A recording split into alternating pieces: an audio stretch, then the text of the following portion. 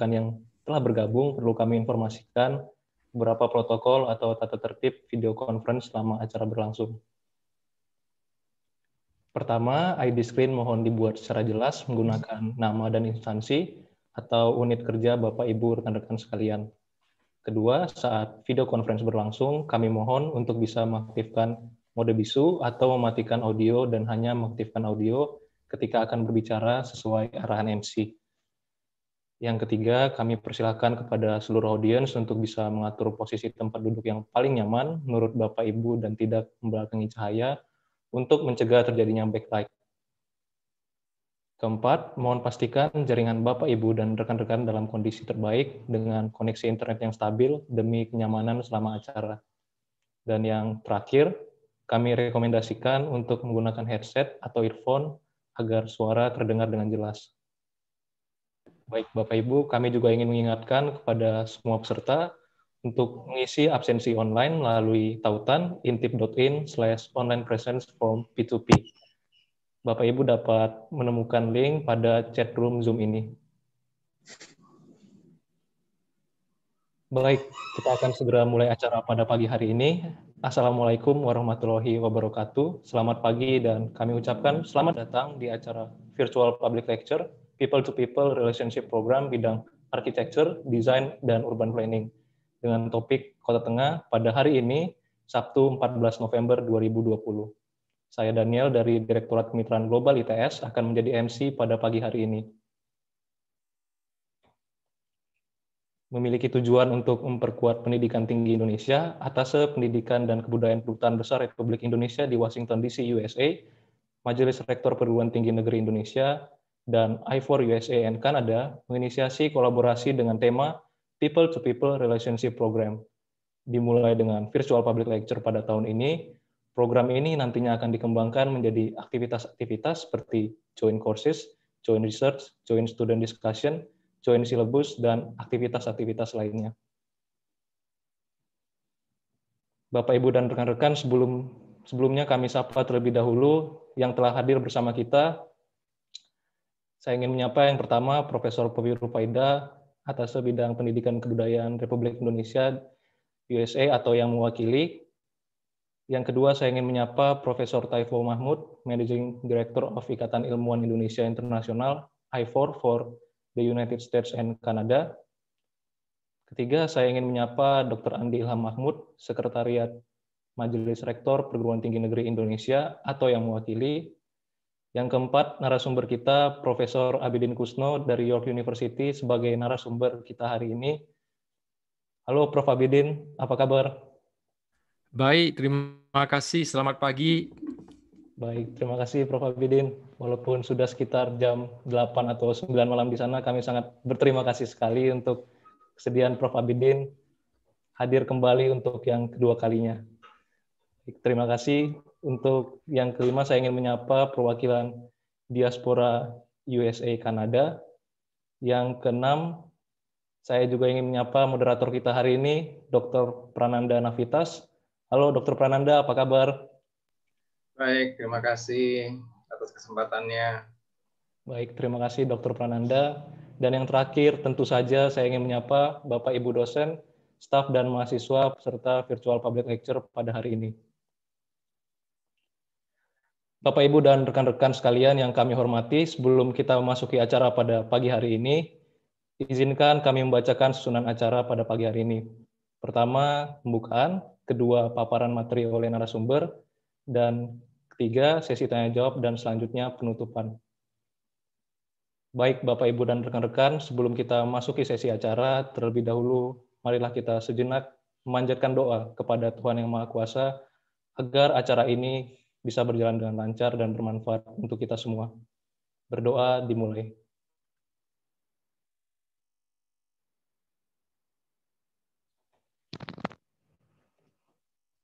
Tidak ada kata cukup dalam berdoa. Bapak, Ibu, dan rekan-rekan, izinkan saya untuk mengingatkan kembali kepada semua peserta untuk mengisi absensi online melalui link intip.in slash online presence form P2P. Link dapat Bapak, Ibu, dan rekan-rekan temukan pada chat room Zoom ini. Baik, selanjutnya tanpa berlama-lama lagi kita akan memasuki acara inti yakni pemaparan public lecture. Namun izinkan saya untuk memperkenalkan moderator pada hari ini. Dr. Prananda Navitas adalah salah satu dosen di Departemen Perencanaan Wilayah dan Kota ITS Surabaya. Beliau mendapatkan gelar sarjana dari Departemen Arsitektur ITS Surabaya. Kemudian beliau melanjutkan studi master Integrated International Urban Studies di Bauhaus Universitas Weimar, Germany, dan Integrated International Urban Studies di Tongji University, Shanghai, China. Beliau kemudian melanjutkan studi S3 dan mendapatkan gelar doktor dari Department of Urban Planning, Queensland University of Technology, Brisbane, Australia. Dr. Prananda berfokus pada bidang keahlian, disaster risk management, dan city design. Baik tanpa berlama-lama lagi, mari kita sambut Dr. Prananda Navitas. Waktu sepenuhnya kami berikan kepada Dr. Prananda. Baik, um, terima kasih rekan-rekan uh, panitia sekalian. Um, selamat pagi, assalamualaikum warahmatullahi wabarakatuh. Um, terima kasih atas kehadiran uh, rekan-rekan sekalian, uh, ibu dan bapak sekalian. Um, merupakan suatu kehormatan bagi saya uh, untuk dapat memoderatori sesi ini. Um, saya ingin uh, memperkenalkan uh, pembicara kita uh, pagi hari ini, yaitu uh, Profesor Abidin Kusno. Um, Profesor Abidin Kusno adalah Direktur uh, York Center for Asian Research um, dan seorang profesor di Faculty of Environmental Studies di York University, Toronto, um, Canada. Sebelumnya, uh, beliau memegang Canada Research Chair in Asian Urbanism and Culture di Institute for Asian Research tahun 2004 hingga 2014 um, di University of British Columbia, Vancouver.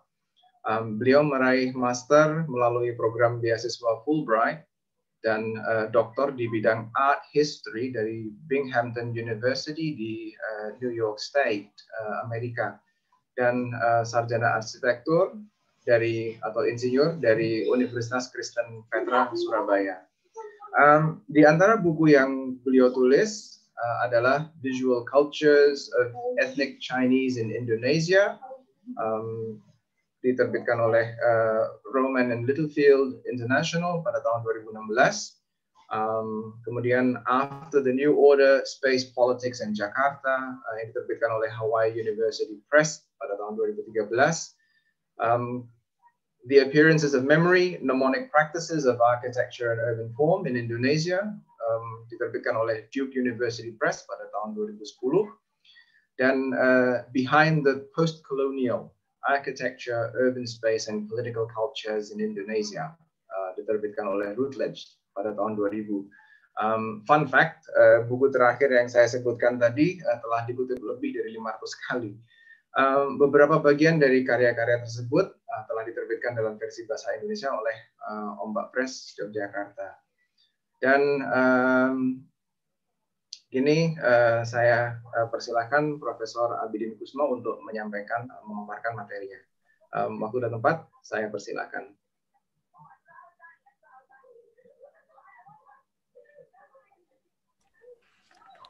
Terima kasih Terima kasih Pak Prananda atas uh, introduction dan sambutannya.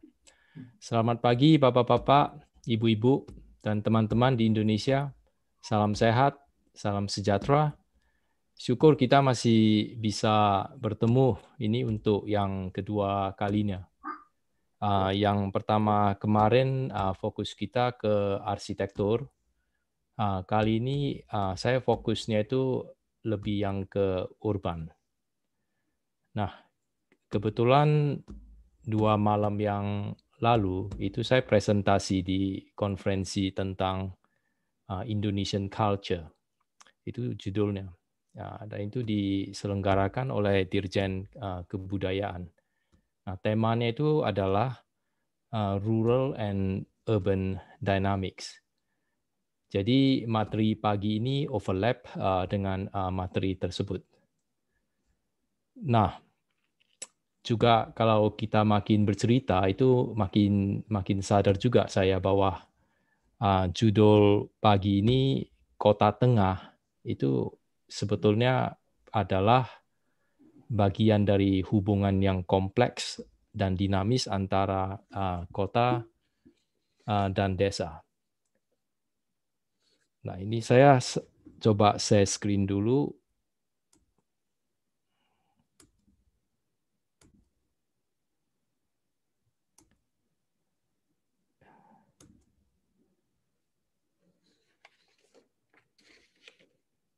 Jadi tengah itu memang punya sifat berada di pusat tengah, tapi justru karena dia di tengah sering luput uh, dari perhatian. Ya. Ya, mungkin karena ini pemikiran dikotomi uh, kita, kanan atau kiri, hitam atau putih, uh, sehingga yang tengah-tengah itu yang abu-abu kadang-kadang luput uh, dari perhatian. Um, sebelum saya masuk ke materi utama, saya mau uh, share dulu sedikit latar belakang yang membawa saya ke topik Kota Tengah ini. Nah, saya pernah diundang oleh sebuah universitas di Amerika uh, untuk menyajikan pemikiran tentang segregasi, ya, integrasi dan inequality ya dalam konteks uh, global. Nah, tema segregasi itu penting dalam konteks urban studies, terutama di Amerika. Karena tema ini pernah menjadi fondasi dari urban studies uh, yang dimulai oleh uh, the Chicago School yang berkembang di awal abad uh, 20 ya uh, ini sedikit slides-nya. Um, kita tidak perlu masuk ke yang detail. Um, dan mungkin ada yang sudah tahu, fokus dari Chicago School di masa awal abad 20 itu adalah masalah segregasi menurut uh, kelas dan ras dalam konteks uh, migrasi penduduk dari daerah non-urban, ya, jadi di selatan Amerika ke daerah urban yang di utara. Dan yang menjadi concern utama dalam masalah sosiospasial yang, yang mengambil uh, yang mengambil bentuk segregasi itu adalah masalah ini social isolation uh, dan spatial concentration. Jadi yang suka diperdebatkan saat itu adalah dampak dari segregasi uh, dan kemudian muncul pertanyaan apakah integrasi itu akan mampu mengatasi masalah social isolation. Jadi saat saya diundang untuk ini ikut partisipasi, pertanyaannya adalah apakah konsep seperti segregasi dan inequality itu bisa menjadi uh, sebuah uh, konsep global ya. Jadi apakah ungkapan segregasi itu bisa dipakai di lain tempat? Jadi itu itu awal-awal yang menstimuli menstimulat saya untuk memikirkan uh, sesuatu yang agak berbeda ya dan pertanyaan itu membuat saya memikirkan sebuah fenomena di mana pengaturan ruang itu tidak mengikuti pola segregasi juga tidak mengikuti pola integrasi ya tapi menghasilkan inequality. Ya, malah juga mampu mempertahankan inequality. Uh, dan dan saya akhirnya ambil contoh kota besar di Indonesia ya, yang punya kampung besar, seperti Jakarta misalnya. Nah, bagi saya itu kesempatan untuk melihat kembali studi tentang uh, kampung di kota, ya jadi dari berbagai disiplin. Nah, pada kesempatan ini saya tidak menyajikan uh, studi kampung dalam arti etnografis, ya, tapi saya hanya menyajikan sebuah diagram pemikiran untuk memahami sebuah kota. Jadi kalau yang detail-detail saya justru nggak mampu. Uh, dan kampung tentu saja banyak sekali variasinya uh, dan untuk kuliah ini saya hanya mengambil skema, jadi lebih ke ke konseptual. Ah, dan moga-moga nanti bisa buka ruang ini diskusi terutama dari teman-teman yang jago planning. Baik, saya masuk sekarang ke ini topik yang mau saya diskusikan. Ya, jadi kira-kira ada empat empat bagian dan masing-masing itu ada ada dimensi sendiri. Uh, yang pertama dominasi, yaitu tentang yang ekspansi dari urban. Yang kedua tentang hibridasi, dan itu nanti ada kira-kira empat otono empat anatominya imajinasi sebetulnya itu lebih ke masalah ideologi, ya, di idea ideational. Kemudian ekonomi, kemudian kapital. Nanti bisa dipertanyakan apa sih bedanya ekonomi dengan dengan kapital. Terus uh, anatomi politik. Kemudian reteritorialisasi itu itu lebih ke ini pembentukan identitas. Ya, uh, mungkin bisa melalui fenomena mudik, fenomena formalisasi, juga fenomena uh, identitas uh, dan modernitas. Yang keempat itu enggak gitu pasti frustasi masa kota tanpa kota ini lebih ke pencarian sejarawan terhadap ini apa yang didefinisikan sebagai urban atau kota di di Asia Tenggara ya termasuk di Indonesia. Nah, jadi mungkin perkotaan kita itu beda ya dengan dengan konsep the city dari dari yang barat. Oke, saya mulai yang pertama uh, dominasi. Nah, di di Indonesia itu di awal abad 20 hingga mungkin sekitar tahun 1970-an itu Pulau Jawa masih dianggap daerah pedesaan. Jadi misalnya di tahun 1930-an pemerintah Belanda itu mengatakan hanya sekitar 5,2 persen penduduk Jawa itu yang tinggal di kota. Nah, di akhir Perang Dunia Kedua, penduduk Jakarta meningkat menjadi sekitar 800 ribu orang. Surabaya kalau nggak salah 600 ribu orang. Tapi menuju akhir abad ke-20, kota Jakarta bertambah 10 kali lipat. Dan kota-kota lain juga penduduknya meloncat. Ah, sehingga Pulau Jawa tiba-tiba terasa seperti pulau yang dipenuhi kota. Ya, jadi pulau kota ya, kalau pakai istilahnya ah, Gunawan Muhammad. Jadi kalau di kalau sekarang di abad 21 orang dengan mudah bisa mengatakan bahwa perbatasan antara kota dan desa di Pulau Jawa itu sudah tidak jelas. Nah, ekspansi kota ini ini sebuah tren yang di dunia akademis itu disebut uh, planetary urbanization ya. uh, atau semacam urban urban explosion. Uh, di mana seluruh lebih dari separuh dari 6.000 juta manusia itu dianggap hidup uh, di kota. Dan kota-kota itu banyak yang baru. Jadi kalau kita lihat slides yang di sebelah kanan itu sebetulnya image dari kota di di Cina, di Tiongkok bagian bagian selatan. Nah, yang sebelah kiri ini ini peta yang ta, saya cuma ambilnya dari Google Image. Ini kelihatannya ini ya penerangan di malam hari. Jadi terang semua, ya. Terang maksudnya urban. Tapi agak aneh ini ini pet, pet, apa peta ini. Uh, saya pikir kan seharusnya separuh gelap gitu loh ya. Separuh terang kan pagi dan malam kayak sekarang ini. Nah, coba kita masuk terus. Nah, ini ini adalah sebuah peta uh, yang memprediksi perkembangan uh, jumlah megacities ya di tahun 2030. Nah, kita tidak perlu mempermasalahkan dulu apa definisi megacities. Tapi yang penting untuk kita pikirkan itu adalah uh, lokasi dari urban explosion itu banyak terjadi di belahan dunia yang dikenal sebagai the global south.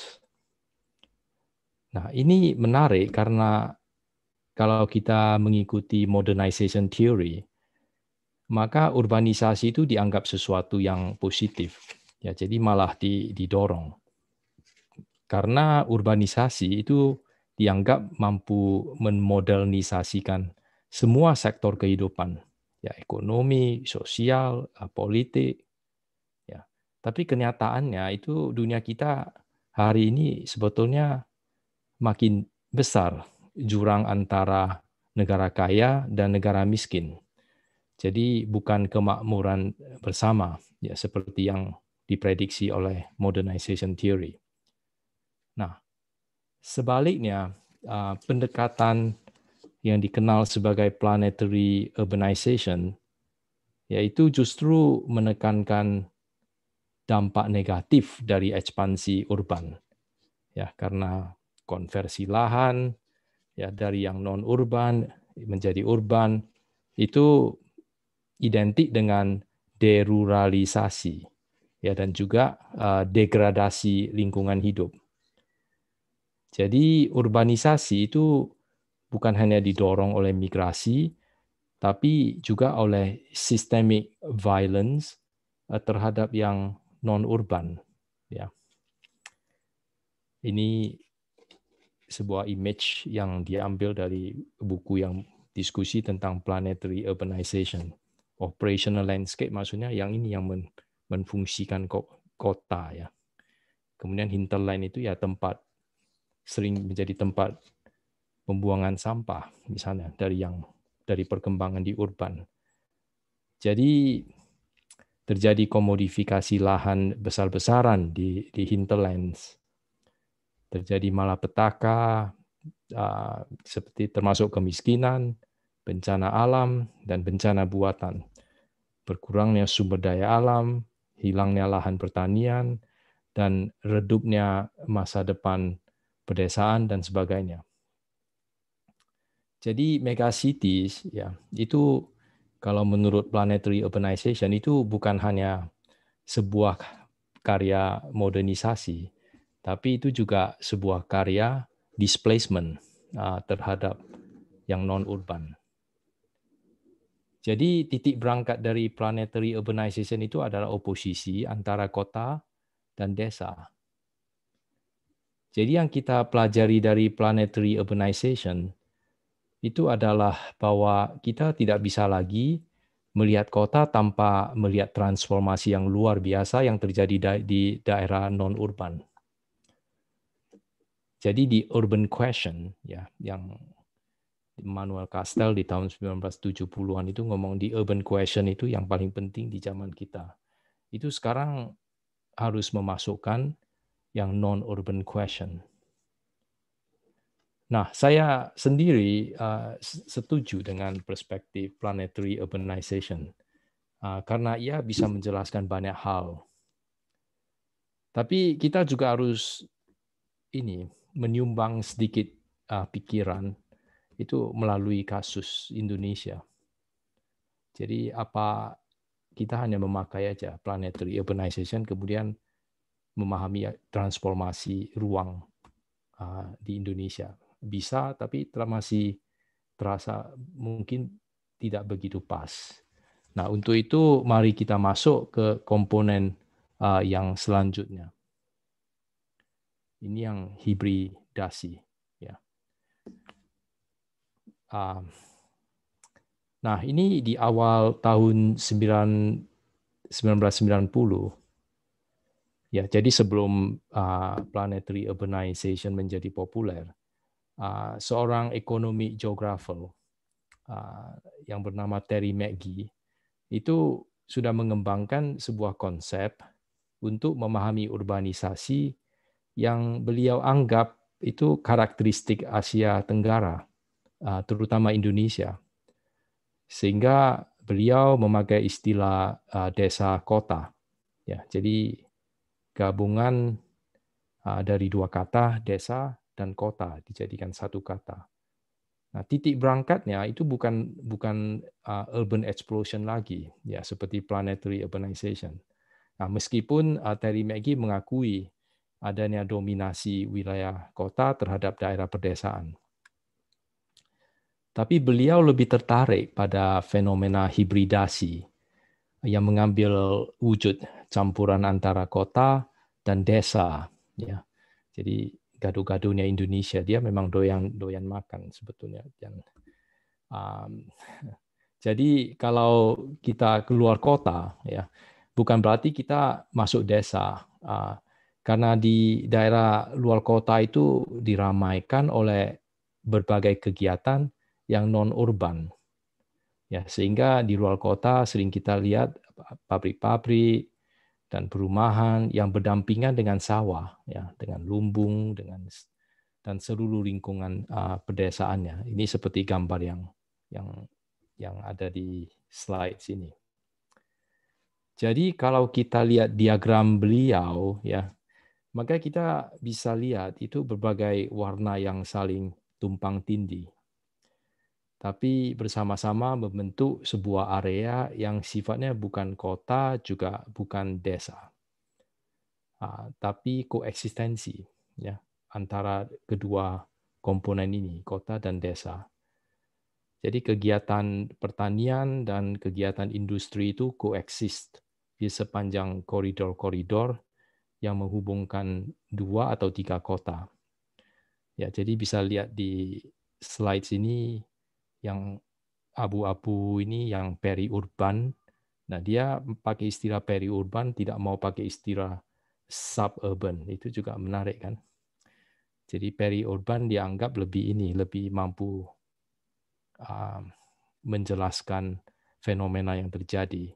Kemudian yang kuning ini adalah yang yang disebut desa kota.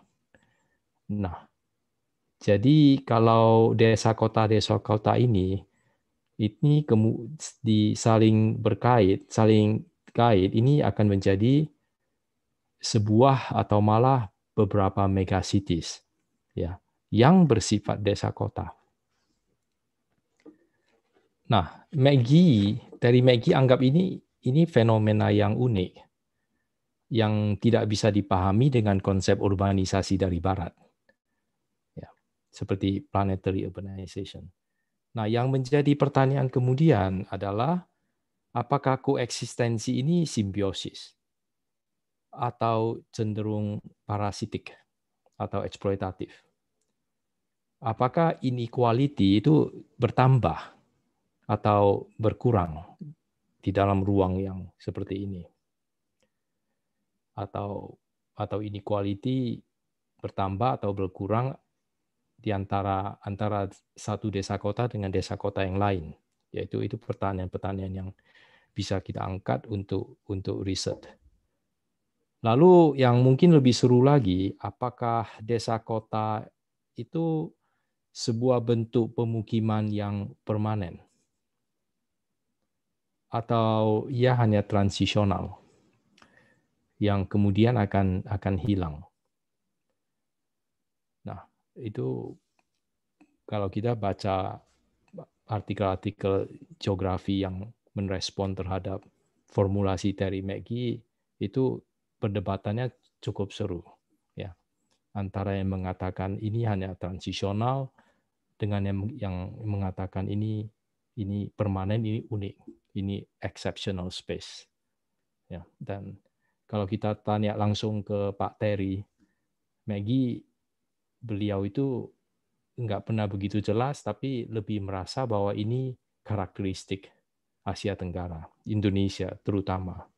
Ya, um, kalau didorong terus, dia ngomong ini hanya bisa dijelaskan melalui budaya. Ya, sesudah itu dia nggak ngomong apa-apa lagi karena dia cukup merasa sulit masuk ke tema budaya. Ya. Nah, konsep ini ini lebih untuk menjelaskan yang di pinggiran kota, kan. Tapi ia membuat kita itu memikirkan uh, ruang di dalam kota. Nah, jadi ini kita bisa masuk dalam hibridasi ada desa kota, kemudian kita bisa ini coba pakai istilah kampung kota. Ya. Nah, untuk kita orang kota itu mungkin fenomena yang diidentifikasi oleh McGee itu sebetulnya tidak terlalu asing. Karena fenomena gaduh-gaduh desa kota itu bisa diamati juga di dalam kota. Jadi tidak perlu jauh-jauh keluar kota.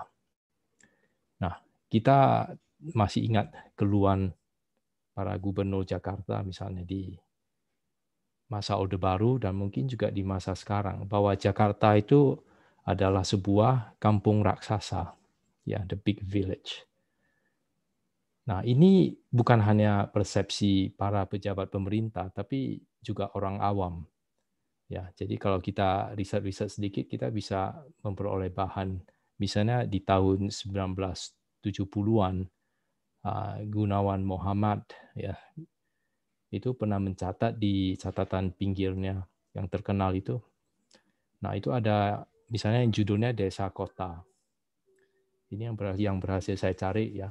Nah, di dalam cerita catatan pinggirnya itu ada uh, Gunawan Muhammad cerita sedikit tentang sebuah lakon yang berjudul Gaung. Nah, itu ditulis oleh sastrawan Wisran Hadi. Nah, di lakon itu ada tokoh perempuan yang bernama si gadis. Nah, ceritanya si gadis harus pindah dari desanya karena di sana ia hanya jadi bahan gunjingan. Jadi ia ingin pindah ke kota. Karena karena ia dia dengar ah, bahwa di sana penduduknya juga dari kampung-kampung ya. Jadi seperti di desa, hanya lebih ramai. Jadi lakon ini menurut Gunawan ini mau menunjukkan bahwa migrasi ke kota itu bukanlah perpindahan kebudayaan yang radikal. Kota hanya tempat yang lebih leluasa, ya, dikutipan. Jadi bagi orang desa itu kota bukan dunia asing. Nah ini ah, hasil seni dari Dede Supriya tahun 90-an ini bisa interpretasi sendiri. Nah, jadi kita bisa pakai istilah kampung kota ya dari dua kota tiga dari dua kata yang digabung itu untuk mendampingi desa kota. Hanya saat ini kalau kita masuk kota ya kita masih bisa melihat kantong-kantong pemukiman yang memperlihatkan ciri-ciri pedesaan di dalam kampung itu pun terdapat berbagai organisasi dan kegiatan yang kalau diteliti itu berasal dari desa. Jadi bila orang bilang penduduk kota bertambah, jumlah wilayah perkotaan juga bertambah. Itu bukan berarti bahwa komponen desa ya dalam arti hubungan sosial dan dan ruang itu telah hilang. Nah, tapi seperti halnya dengan desa kota, kita juga harus bertanya, apakah kampung kota itu sebuah bentuk pemukiman yang permanen? Atau transisional, yang kemudian akan akan hilang atau akan dibiarkan hilang. Nah, ini kita harus hati-hati dalam menghadapi pertanyaan yang demikian, karena implikasinya bisa luar biasa, bisa ke kebijaksanaan pemerintah ya ah, dan tentu tentu saja ini pertanyaan yang yang penting untuk kita lontarkan ke para planner kita juga ya. Nah, saya kira pertanyaan yang demikian itu harus dijawab dengan jawaban yang bersifat uh, paradoks. Ya. Um, jadi sekarang saya mau masuk ke anatomi dari ini komponen kampung kota ya yang pertama anatomi uh, ideologis. Ini dalam arti urban imaginary. Nah tadi kan kita sebut kata transisi. Nah transisi itu punya dua arti. Itu bisa fisiknya akan menghilang ya transisi ke ke urban form yang yang berbeda atau transisi juga bisa berarti penduduk kampung itu kemudian naik kelas ya. Jadi menjadi kelas kota. Uh, istilahnya itu becoming urban. Nah kalau kita pakai istilah transisi berarti kampung kota itu adalah tempat di mana migran dari desa uh, pada umumnya menetap sedikitnya sementara. Uh, meskipun ada yang menetap terus Ah, tapi dia itu ada kecenderungan untuk moving on. Ya. Nah, konsep transisi ini ya kalau masuk ke urban imaginary ini menjadikan kampung itu sebagai ruang harapan bagi penduduk desa untuk menjadi bagian dari kota ya. Karena itu ya ideologically speaking itu kampung adalah space of hope. Jadi dari perspektif desa selama kota masih ada kampung, maka ia masih bisa dianggap sebagai tempat yang memberi harapan. Tempat yang memberi agensi pada penduduk dari desa untuk memperbaiki kehidupan. Jadi tempat yang menjanjikan peningkatan status sosial meskipun kita tahu uh, tidak ada jaminan. Di lain pihak, kampung kota itu juga bisa dilihat sebagai uh, space of uh, uh, pacification. Ya, uh, maksudnya ruang yang bisa memoderasi uh, potensi konflik yang bisa terjadi antara desa dan kota. Ya, karena ketimpangan dari kedua tempat itu. Jadi kalau kita lihat diagram ini, misalnya ini kan dari Terry McGee, desa kota region itu coba kalau kita masukkan dalam konteks urban ya desa kota jadi kampung kota tanpa adanya yang daerah tengah ini itu langsung terjadi benturan antara the city and the country ya urban dan dan rural jadi kampung kota itu diperlukan ya untuk memberi harapan dan imajinasi mobilitas dan sekaligus menghindari potensi konflik uh, yang terjadi karena ketimpangan antara kota dan desa. Dengan kata lain, kampung itu adalah kampung kota itu adalah shock breaker. Jadi peredam kejut ya dari dari sebuah tumpukan yang bisa terjadi antara kota dan dan desa. Nah, itulah kira-kira formulasi anatomi uh, urban imaginary ideo secara ideo ideational eh, atau atau ideologi. Sekarang saya mau masuk ke anatomi yang kedua, anatomi uh, ekonomi. Nah, ini lebih ke hubungan antara sektor formal dan sektor informal. Nah, kampung itu bisa dikatakan sebagai infrastruktur dari kota. Di Jakarta misalnya sering kita lihat itu ada tembok-tembok atau sekat-sekat yang memisahkan properti ya ah, dari dari perkampungan. Ah, itu tem sekat itu diperlukan kalau enggak enggak bisa mendefinisikan propertinya itu value-nya seperti apa. Nah, tapi yang paling menarik itu kalau kita perhatikan sekat-sekat itu banyak lubangnya. Ya. Jadi lubang-lubang uh, yang akhirnya bisa atau celah-celah ya uh, yang menghubungkan daerah yang boleh dikatakan sebagai formal dengan daerah yang perkampungan. Jadi di balik gedung-gedung tinggi ya atau mall-mall shopping mall besar ya atau celah-celah pemukiman real estate itu adalah kampung-kampung yang menampung pegawai, pekerja, supir, tukang kebun, pembantu, dan penjaga warung misalnya.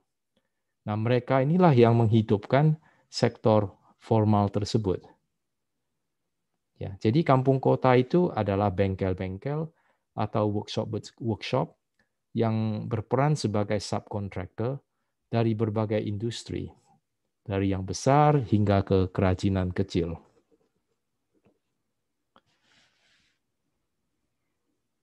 Jadi kampung kota itu adalah infrastruktur yang berfungsi bagi negara dan juga bagi investor. Karena dengan adanya kampung kota, sedikit sekali biaya infrastruktur yang perlu ditanggung oleh negara dan oleh investor ya dalam usahanya. Jadi kalau kita lihat uh, peta hitam putih ini, ini dibikin oleh uh, teman kita Rita pada Wangi dan kawan-kawan uh, kita bisa melihat di sini kantong-kantong kampung ya.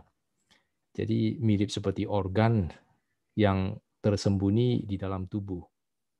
Berfungsi tapi tidak kelihatan. Jadi hubungan antara yang tersembunyi dengan yang yang terlihat ini sering disebut hubungan formal dan informal. Ya, dengan kata lain itu sebetulnya adalah hubungan kota dengan desa mungkin ya. Oke, sekarang saya mau masuk ke anatomi yang ketiga, anatomi uh, kapital. Nah, kenapa ekonomi dengan kapital beda? Uh, mungkin karena kapital itu lebih mengacu pada kapital global. Uh, ini saya jadi meminjam uh, konsep yang yang lebih luas, ya, untuk bisa menangkap dimensi dari uh, global capital. Nah, hubungan global capital dengan kampung itu bagaimana cara memahaminya? Ini bisa dijalin ya melalui sebuah argumen yang dikembangkan oleh uh, Immanuel Wallerstein dalam World System Studies.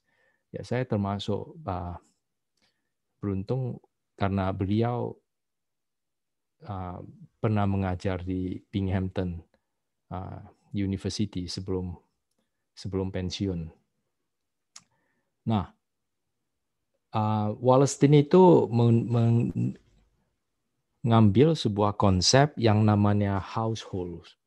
Household itu nggak tahu ya kalau diterjemahkan dalam bahasa kita mungkin rumah tangga ya. Kalau mikir rumah tangga kan langsung muncul siapa sih anggota-anggotanya. Ya, tapi bagi beliau, household itu adalah sebuah tiang penyanggah dari struktur kapitalis world economy. Nah, kalau kita tahu world system studies sedikit, itu pada prinsipnya ekspansi global capitalism itu didorong oleh penyediaan tenaga kerja murah. Nah, argumennya sekarang begini, ya kemampuan seorang pekerja ya yang formal untuk bisa menerima gaji rendah dari sebuah perusahaan itu karena ia didukung oleh household ya yang berfungsi sebagai income pooling unit. Ini adalah kunci konsepnya. Ya, jadi household itu bisa anggota keluarga, bisa juga lebih luas dari anggota keluarga. Tapi yang penting itu uh, income pooling unit. Jadi misalnya pekerja formal Ya, pekerja formal ini kalau di di sketsa saya itu yang misalnya ini ya. Ya, fact kalau kalau si dia bekerja di sebuah pabrik atau di sebuah shopping mall, dia itu harus dikategorikan sebagai worker, itu yang formal. Ya.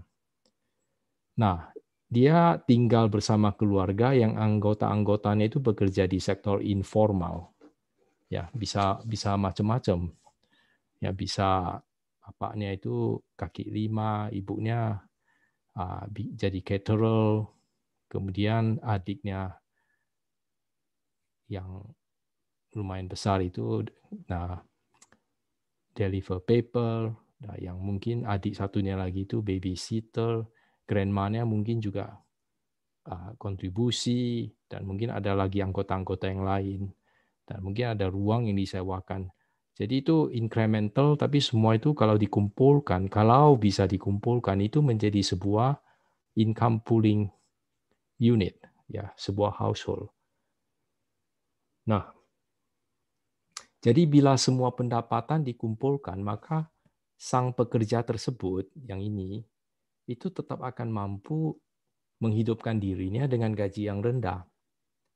Jadi household yang anggota-anggotanya terdiri dari campuran jadi yang formal dengan yang informal itu secara tidak langsung itu mendukung jalannya perusahaan multinasional ya di mana worker yang formal itu bekerja.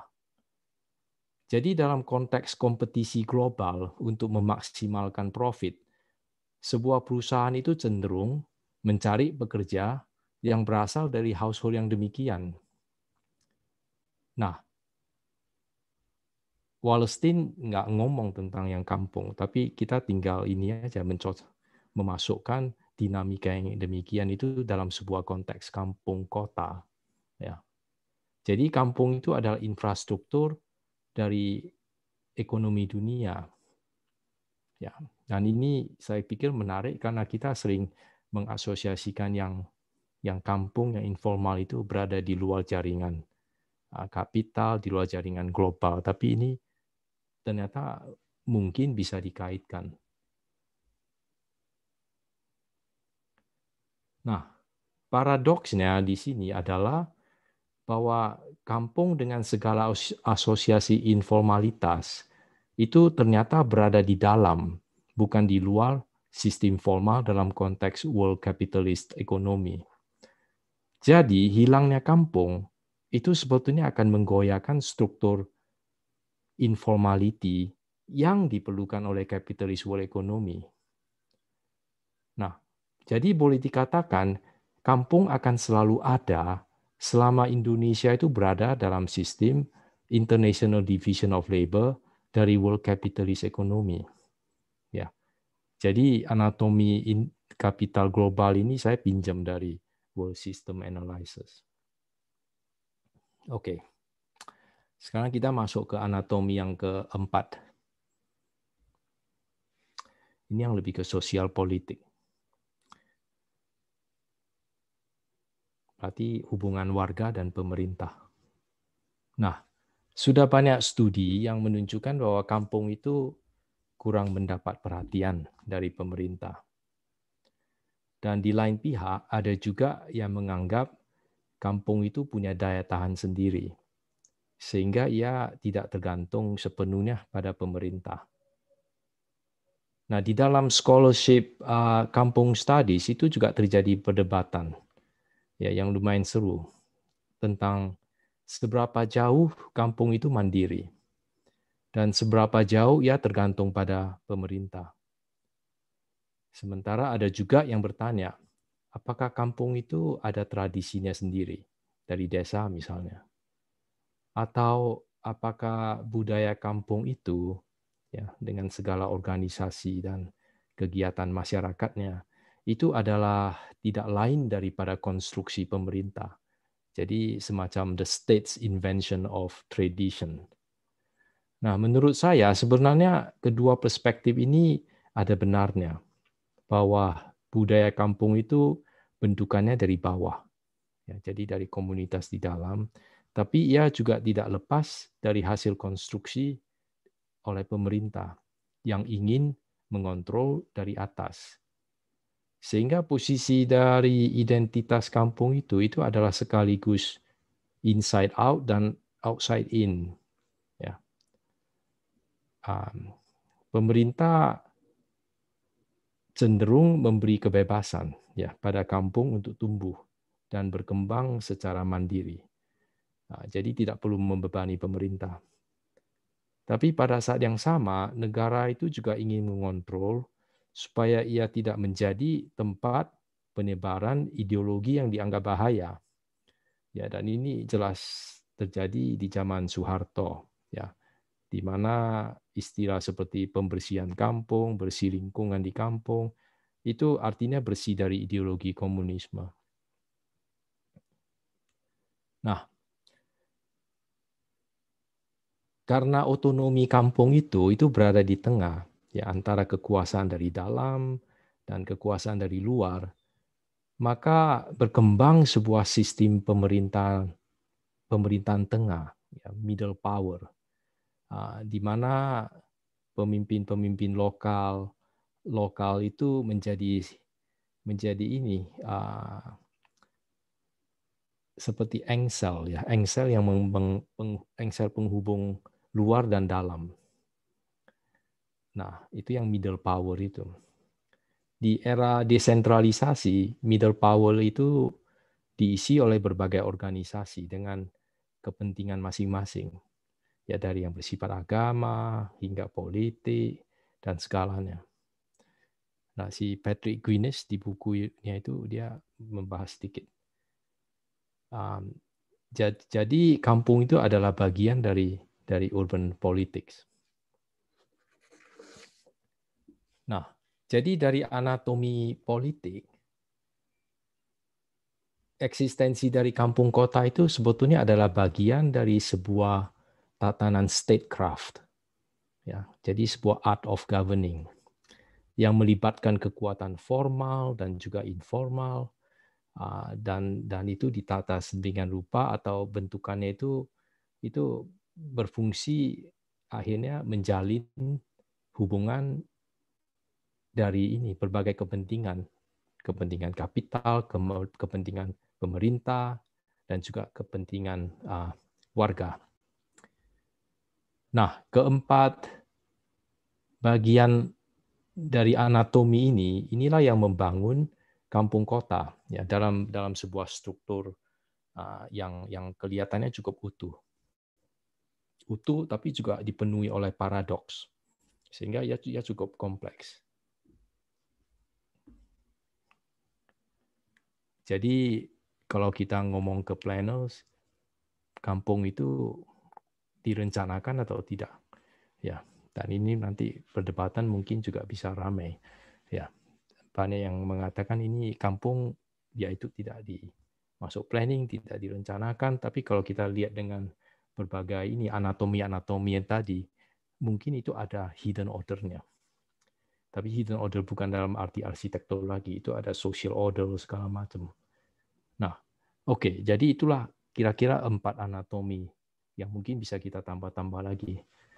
Ah, dan tapi saya harus sekarang masuk ke yang ketiga ya. Reteritorialisasi ini sesuatu yang penting untuk menganalisa kampung kota.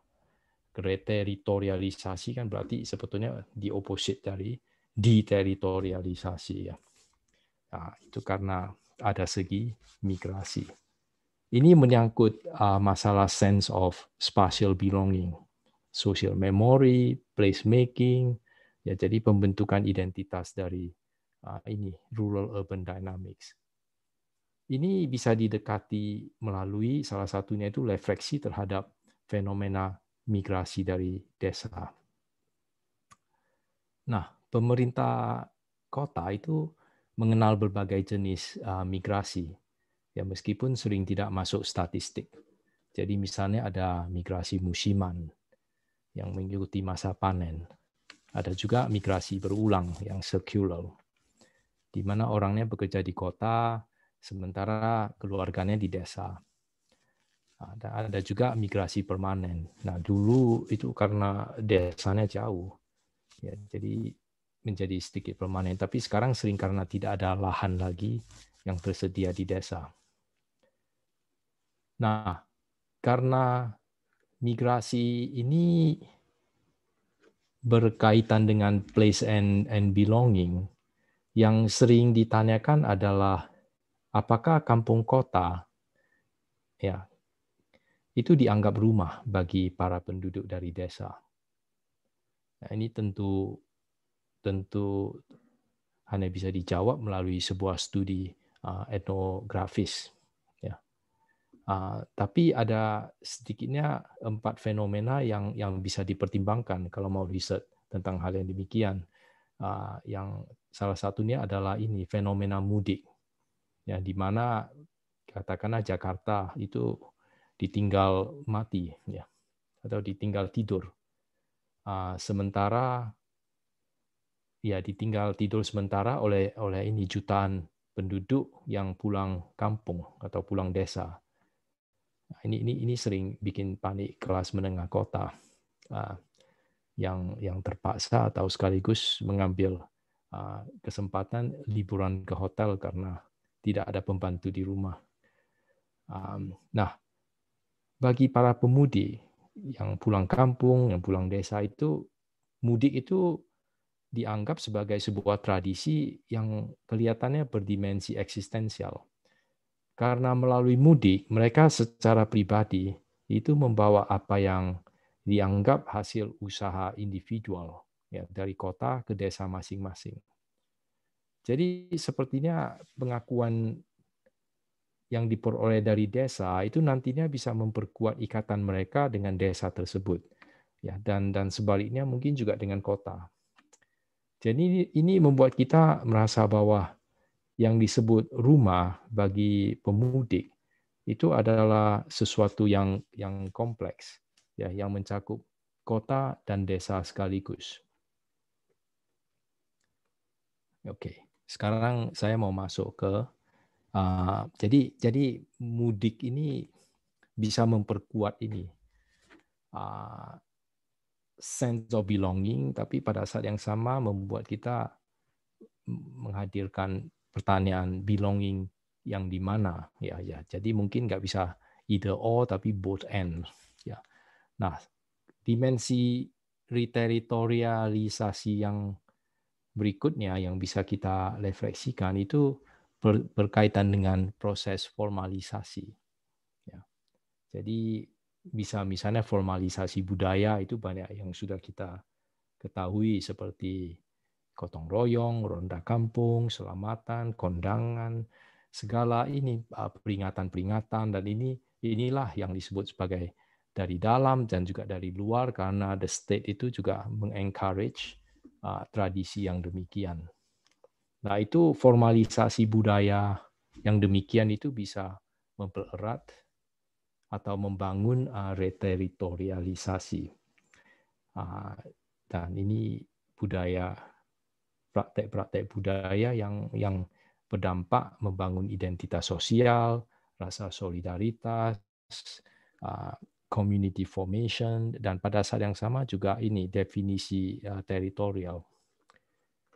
Nah, yang lebih menarik lagi itu sebetulnya adalah formalisasi lahan dalam arti sertifikasi lahan.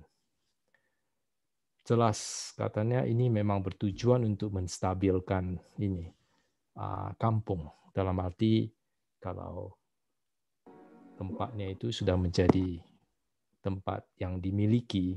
Jadi ada ini akan membangun sense of belonging.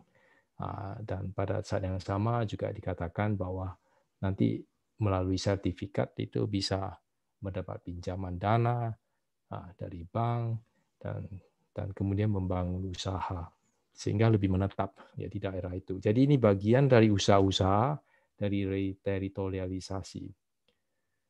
Tapi program sertifikasi lahan ini ini juga bisa mempersempit uh, ruang operasi dari pasar lahan informal.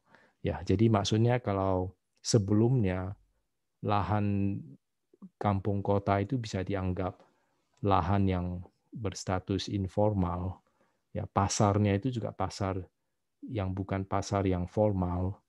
Uh, tapi kalau sudah disertifikasi, dia itu langsung masuk ke pasar lahan formal. Nah, ini bisa dianggap ya menuju ke sebuah proses gentrifikasi yang bisa menggeser penduduk miskin dari sebuah kampung. Ya, nah yang tadi saya bilang bahwa sertifikasi lahan itu itu akan mengurangi pasar lahan informal sehingga ia cenderung mengurangi ini affordability dari kampung di kota. Ya, jadi kalau udah diformalkan, bisa saja sertifikasi itu kemudian dijual ke developer, developer ambil alih, kemudian itu akan menjadi bagian dari uh, sebuah industri uh, ini uh, housing yang yang hanya kelas menengah itu bukan kelas bawah lagi yang mampu uh, hidup di kampung kota. Ah, jadi sebetulnya formasi formalisasi lahan melalui sertifikasi menjadi formal ini sebetulnya bisa mengganggu keseimbangan dari fungsi sebuah kota tengah. Ya, kalau kita ambil konsep-konsep yang sudah didiskusikan tadi. Dan ini tentu saja pengaruh dari uh, Hernando de Soto, ya, The Mystery of of Capital yang mengatakan sebetulnya dunia ketiga itu punya power karena banyak lahan yang masih belum dikomodifikasi, belum disertifikasi. Jadi dianggap kalau saja semua itu disertifikasi, maka dunia ketiga itu akan ini akan tidak miskin lagi. Ya malahan bisa lebih kaya dari uh, ini global north.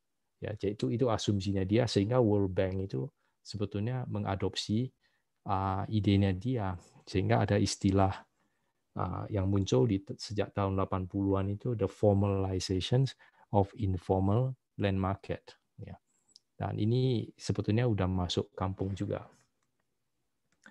Oke itu yang uh, formalisasi. Saya saya rasa saya tidak akan ada waktu untuk masuk ke fenomena reteritorialisasi yang ketiga yang itu lebih ke modernity modernitas. Itu biar di save saja ya. Uh, uh, dan saya langsung langsung masuk ke ini yang loncat ke yang keempat ya uh, frustasi yang sebenarnya kota tanpa kota ini ini uh, pertanyaan Nah, ini bagian yang terakhir dari penyajian saya ini tentang sebetulnya refleksi dari literatur di bidang sejarah. Ya. Karena kan tujuan saya oh mencari sesuatu yang yang ada segi Indonesia ya. Mungkin yang sejarah itu coba kita lihat apa yang mereka katakan. Nah, Hans Ivers Dieter ya ini yang di di sini ini. Ini ini peneliti uh, Jerman yang banyak tinggal di Malaysia Ah, ini pernah mengatakan bahwa Jakarta itu adalah sebuah settlement yang besar, ya, ah, dan bukan sebuah kota. Sementara Peter Nas itu banyak yang kita yang dari Urban Studies itu tahu uh, karya beliau yang di beliau dari Leiden itu guru di sana dianggap guru studi urban Indonesia. Ya itu pernah mengatakan pernah mengingatkan kita bahwa kata kota ya KOTA itu itu dari India rupanya. Sementara yang namanya pemerintah kota itu baru terbentuk di masa Hindia Belanda di tahun 1903 untuk kasusnya itu ya Batavia. Ah, jadi terlihat di sini bahwa Indonesia sendiri itu tidak punya konsep kota ya dalam arti teritorial. Ya. Karena itu ya menurut Peter Nas organisasi ruang ruang kota kita itu lebih bersifat uh, hierarkis pusat. Entah apa maksudnya, mesti dipikirkan juga. Jadi beliau bilang itu kita hanya ada uh, focal urbanism, bukan local urbanism. Ya, maksudnya adalah ini bahwa kota kita itu adalah pusat kekuasaan jadi kita hanya tahu center, pusat, pusat, pusat, pusat. Ya, kalau masalah ke teritorial itu kita kelihatannya kurang kuat secara konsep. Ya, karena mungkin tradisi kita berbeda. Sementara yang namanya desa, ya itu bukanlah hanya tempat sawah dan petani, ya, tapi sebetulnya banyak sekali uh, diversification dari mata pencaharian ya banyak ragam mata pencarian ah, dan banyak sekali interaksi-interaksi antara daerah, ah, kota, desa, desa-desa, kota, kota, sehingga desa itu sebetulnya tidak pernah terpisah dari kota. Itu kira-kira kesimpulan beliau. Ya, um, jadi ini menarik, tapi pada saat yang sama juga mengganggu ya. Waduh, memangnya kita nggak punya ya, ya konsep konsep kota. Ya, tapi kota itu akhirnya kita juga sadar yang mereka kejar itu adalah kota dalam arti administrasi, ya, dalam arti teritorial, sehingga mereka itu bisa mendefine the city and the country itu beda. Ya. Ingat Raymond William, the city and the country itu beda, itu itu uh, jelas. Tapi untuk yang kita kelihatannya nggak begitu jelas. Nah, pengamatan dari Peter Nash ini juga mengingatkan kita pada studi Anthony Reid, ya sejarawan dari Australia. Itu tentang kota-kota di Asia Tenggara. Ya, jadi di sekitar abad 15, 17 sehingga dia itu malah masuk ke before European hegemony itu dia dia lacak sedikit. Nah, beliau mengatakan bahwa tidak seperti kota-kota di Eropa, kota-kota di Asia Tenggara itu tidak dikelilingi tembok. Ya, jadi tidak terisolasi dari masyarakat di desa. Nah, justru sebaliknya desa itu penting untuk kehidupan kota. Jadi menurut beliau kota-kota di Asia Tenggara itu senantiasa bersifat semi rural. Nah, aset dari kota itu adalah penduduk, bukan lahan, bukan bangunan. Ya. Nah, karena asetnya adalah penduduk yang cenderung berpindah-pindah tempat, yang seperti si Pitenas ngomong ini ke mana-mana, diversification, segala macam. Jadi kota itu sifatnya sementara. Ya bisa ditinggal untuk membangun kota baru, ya, tanpa harus mempertahankan kota yang lama. Jadi menurut para sejarawan, kita punya ini urban urbanisasi itu tanpa kota Ya. Ya, ini akhirnya membawa kita kembali lagi ke konsep uh, desa kota uh, dan dan desa kampung. Ya. Um, saya lihat kayaknya mungkin saya bakal di stop segera oleh Pak Nanda. Uh, jadi mungkin saya langsung ini ya uh, sedikit kesimpulan. Um, Ya, jadi dari paparan ini kelihatannya ada kesempatan untuk memikirkan apa yang disebut sebagai Indonesian urbanism. Ya. Ah, dan poin-poin yang lain adalah ini, ya bahwa ah, kampung kampung kota yang yang kelihatannya tidak terencana itu itu sebetulnya mempunyai struktur ini sosio-spasial yang yang mandiri ya tapi dia itu tidak berdiri sendiri. Dan yang kedua adalah ia adalah bagian dari sebuah anatomi kota yang berdimensi politik, ekonomi, ya dan dan juga tatanan budaya.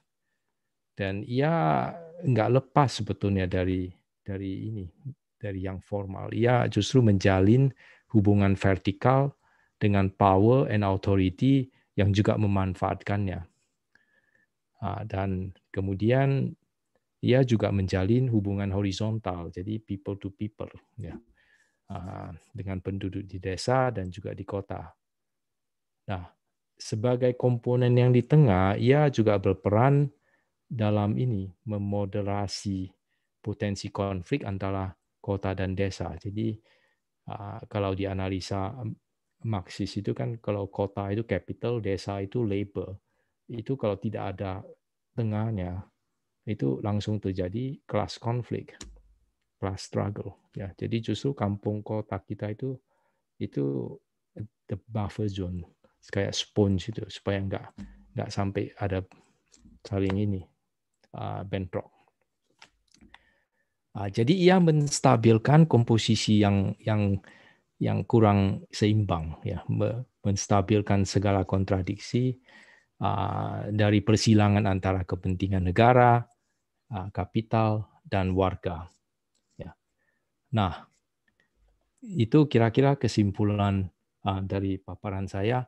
Nah, tapi saya juga mau menekankan bahwa seperti uh, semua tatanan itu sebetulnya dinamis Ya, jadi nggak selalu bahwa oh kampung itu begini. Ya, kita harus mengetahui bahwa zaman itu berubah dan sehingga tatanan itu juga ada pergeseran, ada transformasi. Ya, sehingga kalau kita mau mau masuk ke pertanian-pertanian yang selanjutnya kita harus bisa mem, men, ini menghadirkan banyak banyak kaitan ya. Bagaimana kampung kota uh, menjawab masalah konsumerisme, memori kota, perubahan sosial, social justice, dia bisa enggak?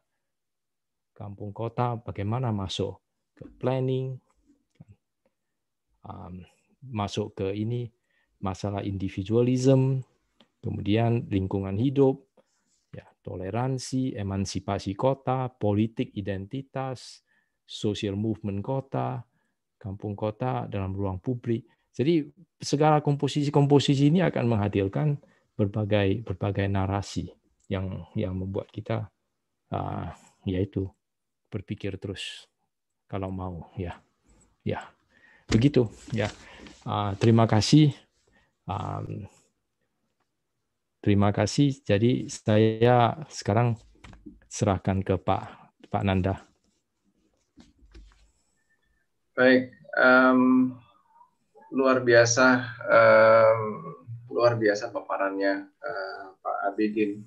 Um, kalau saya apa kalau saya wrap up lagi gitu um, Bapak tadi telah menyampaikan uh, signifikansi uh, kota tengah dalam uh, apa dalam urban rural continuum um, dan and beyond bahkan. Uh, kemudian uh, mengingatkan kembali kepada kita dan mungkin menyingkap bagi apa bagi uh, bagi sebagian dari kita uh, tentang struktur dan anatomi mekanisme di balik uh, apa di balik formal dan informal itu. Kalau karena saya dari apa uh, karena saya memiliki minat dalam bidang uh, disaster management um, saya melihat adanya um, adanya elemen resilience yang sangat uh, kuat di situ gitu. Um, saya, saya lihat juga tadi uh, apa di, di beberapa beberapa komentar di dalam chat uh, paparan ini membawa apa, mengingatkan uh, Pak Yosef Priyotomo akan uh, beberapa memorinya begitu. Uh, kemudian tadi karena Pak Pak Abidin me, me, mengutip peta dari peta dari Bu Rita Padawangi yang kebetulan juga hadir hari ini, beliau menyampaikan acknowledgement uh, terhadap uh, Nia Irawati dan kawan-kawan uh, mahasiswa dari UGM untuk penyusunan peta tersebut.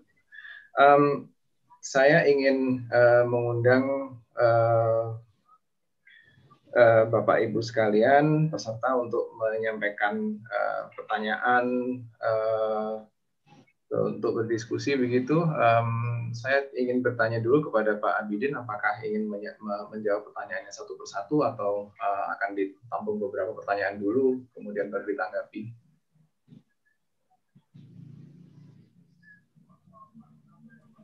Saya fleksibel, Pak Nanda. Ada mungkin ada manfaatnya juga kalau mengumpulkan, kalau bisa saling berkait itu. Begitu, oke. Okay. Um, ini ada dua pertanyaan yang saya bacakan dulu uh, dari chat sebelum saya mempersilahkan uh, apa, mempersilahkan audiens untuk bergabung, uh, untuk ber, ber, apa, bertanya uh, secara langsung.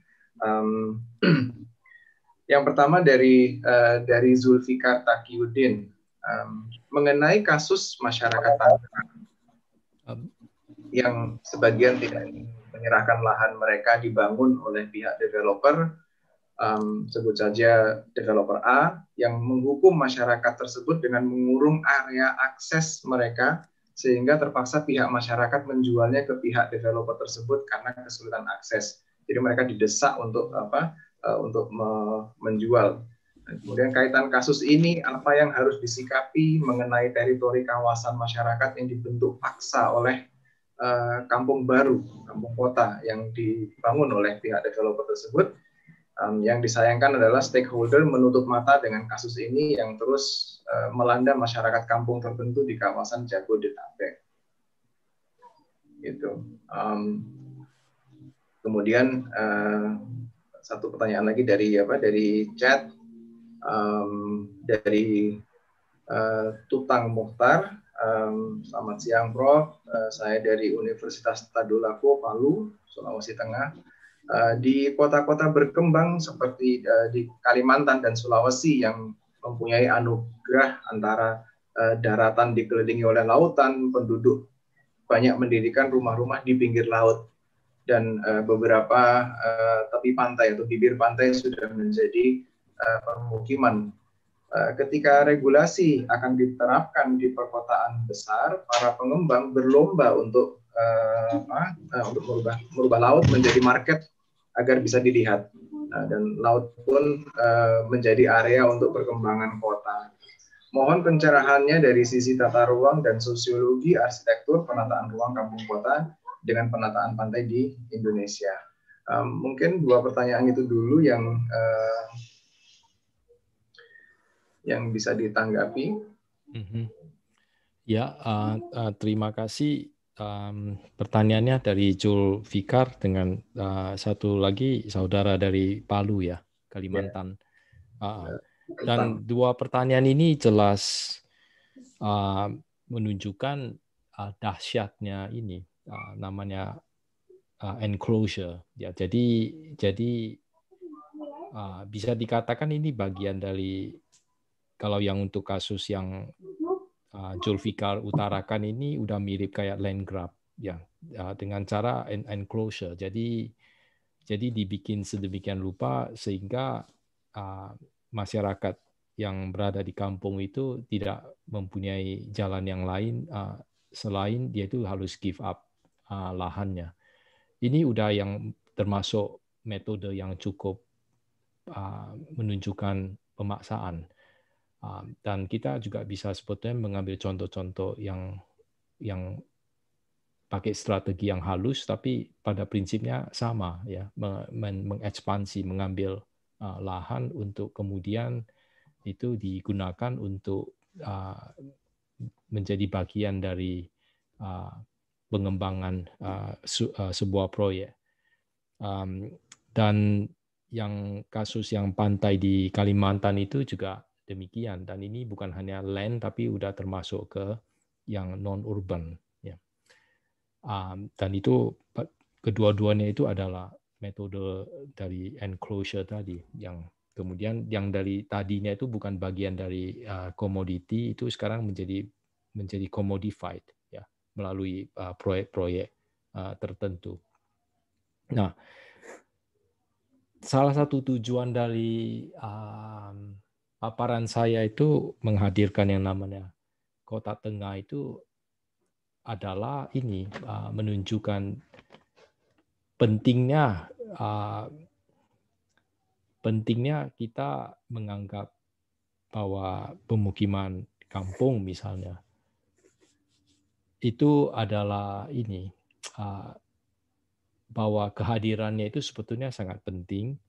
Karena kalau tidak ini ini lama-lama akan terjadi konflik yang luar biasa ya. uh, dan karena the nature will speak back dan kemudian masyarakat juga akan makin ini merasa uh, hak the right to the city-nya itu enggak enggak enggak enggak bisa dipertahankan sehingga sehingga konflik itu akan akan bisa terjadi.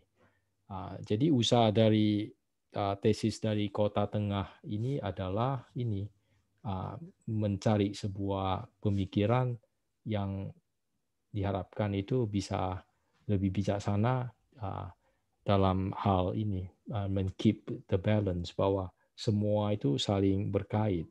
Jadi kalau terjadi pergeseran-pergeseran yang demikian itu ujung-ujungnya nanti akan uh, menjadi penuh dengan masalah. Ya. Um, jadi itu itu mungkin kira-kira tanggapan saya sementara.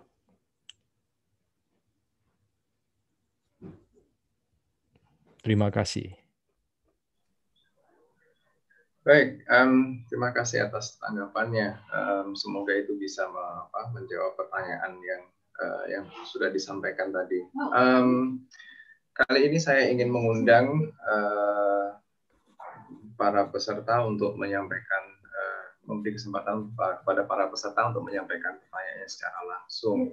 Um, sebelum apa, sebelum uh, saya meng, uh, mengadres pertanyaan-pertanyaan yang lain yang disampaikan di dalam chat. Um, silahkan menggunakan fitur raise hand um, agar panitia dapat meng-unmute. Um, silahkan.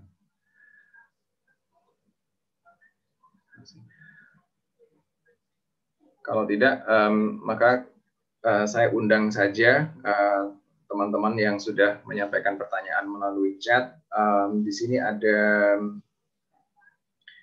ada saudara Raka, Raka Sonigia. Um, silakan unmute. Saya, saya kira uh, saya kira fitur uh, apa fitur saya kira partisipan dapat apa dapat unmute themselves. Um, untuk apa dalam dalam dalam dalam kegiatan ini. Silahkan saudara Laka Sonigia dari dari mana ini Unika Makasih. Yeah, Uh, selamat siang, bisa didengar ya? Bisa. Oke. Okay. Iya Pak, saya mau menanyakan pertanyaan pertama saya, apakah ada kota di dunia ini yang arah pengembangannya tidak mengalami reteritorialisasi seperti sertifikasi lahan dan sebagainya. Terus yang kedua, um, saya sekarang sedang berada pada proyek um, redesign sebuah kampung yang dulunya digusur, lalu sekarang didesain kembali, uh, tapi di tapak yang sama. Eh, kira-kira itu nanti ke depan bisa disebut kampung lagi atau tidak ya Pak? Oke, okay. saya langsung jawab atau gimana Pak Nanda? Boleh, boleh, boleh Pak. Boleh ya, boleh ya, baik. Nah, um, pertanyaannya tadi apakah apakah ada contoh uh, kota di dunia yang tidak mengalami reteritorialisasi dalam dalam arti sertifikasi lahan ya. Mm. Yang reteritorialisasi itu itu semacam place making ya dan dan sertifikasi lahan itu itu membangun wacana melalui ini ini bagian dari place making Uh, ini sebetulnya sertifikasi lahan itu hanya satu satu uh, metode di banyak negara bukan banyak ada contoh-contoh uh, di kota-kota di dunia yang yang sertifikasinya itu bukan dalam arti uh, hak milik ya. Kalau yang saya ceritakan tadi sertifikasi lahan itu cenderung individual ya. Jadi jadi ini ad, karena karena keinginannya itu adalah nanti bisa menjadi uh, bagian dari struktur uh, financial capitalism. Jadi ada perbankan di situ. Jadi kalau udah masuk yang namanya perbankan itu udah sifatnya itu udah lebih ke individual. Ya bahwa Anda secara sebagai individu itu harus punya uh, responsibility uh, terhadap aset uh, dan kemudian aset itu bisa Uh, dipakai untuk mendapat pinjaman untuk bisnis uh, dan segala macam. Jadi itu adalah adalah sebuah langkah uh, individualization ya. Dan dan dengan sebuah catatan kalau sudah punya hak milik maka Anda menjadi warga kota ya. Um, dan dan itulah yang sebetulnya yang akan menghilangkan value dari dari sebuah placemaking. Um, jadi kalau contoh-contoh di kota-kota yang lain itu itu nggak selalu uh, bahwa reteritorialisasi itu harus mengambil uh, bentuk ini uh, menjadi uh, owner dari dari sebuah lahan ya.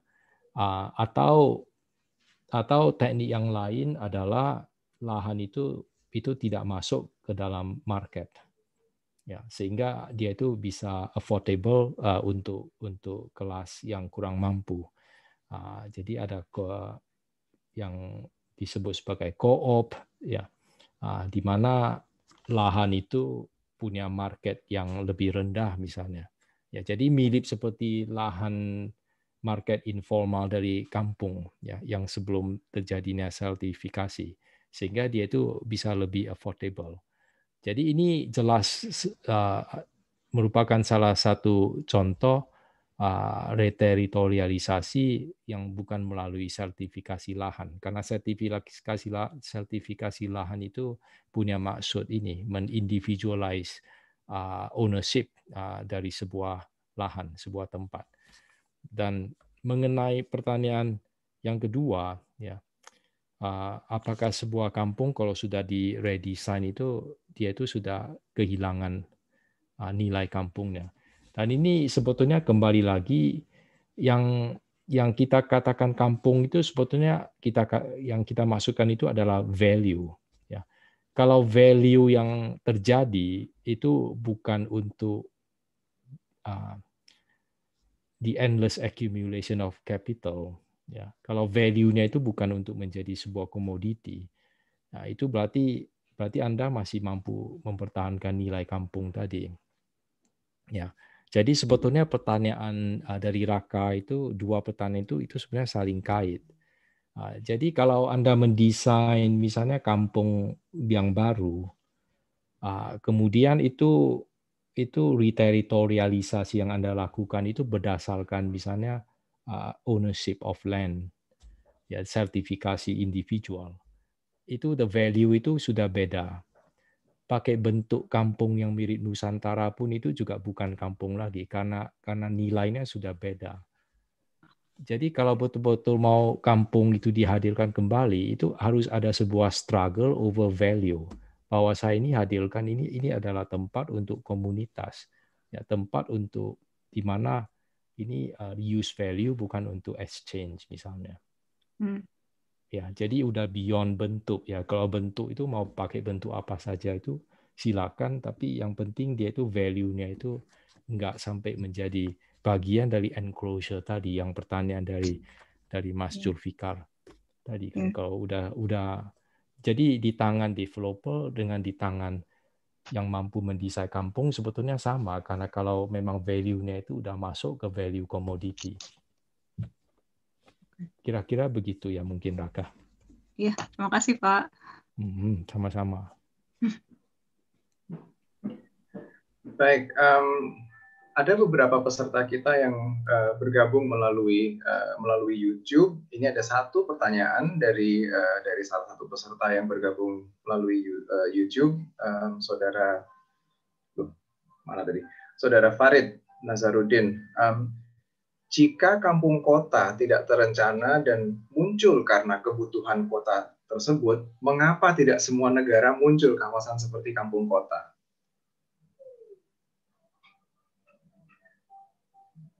Ya, pertanyaannya seperti itu. Uh, monggo.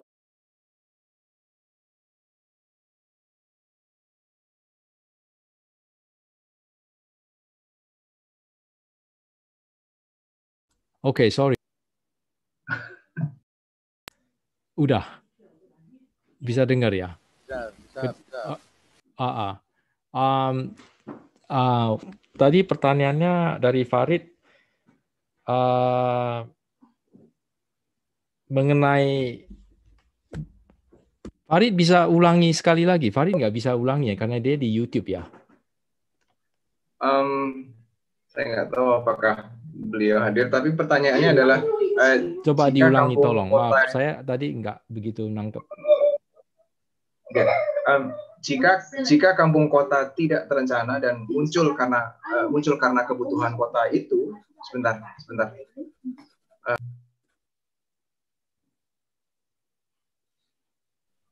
maaf, ada sedikit interupsi. Um, jika kampung kota tidak terencana dan muncul karena kebutuhan kota itu, mengapa tidak semua negara uh, muncul kawasan seperti kampung kota tersebut. Mm-hmm. Oke, okay. um, sebetulnya banyak banyak negara yang yang ini yang mengalami perkembangan kota yang seperti kita kita alami, cuman mungkin nggak di nggak di nggak dimasukkan ke dalam kerangka misalnya kampung kampung kota. Ya, jadi peta yang tadi saya tunjukkan misalnya uh, kota-kota di yang disebut sebagai global south itu itu mengalami fenomena yang demikian. Ya.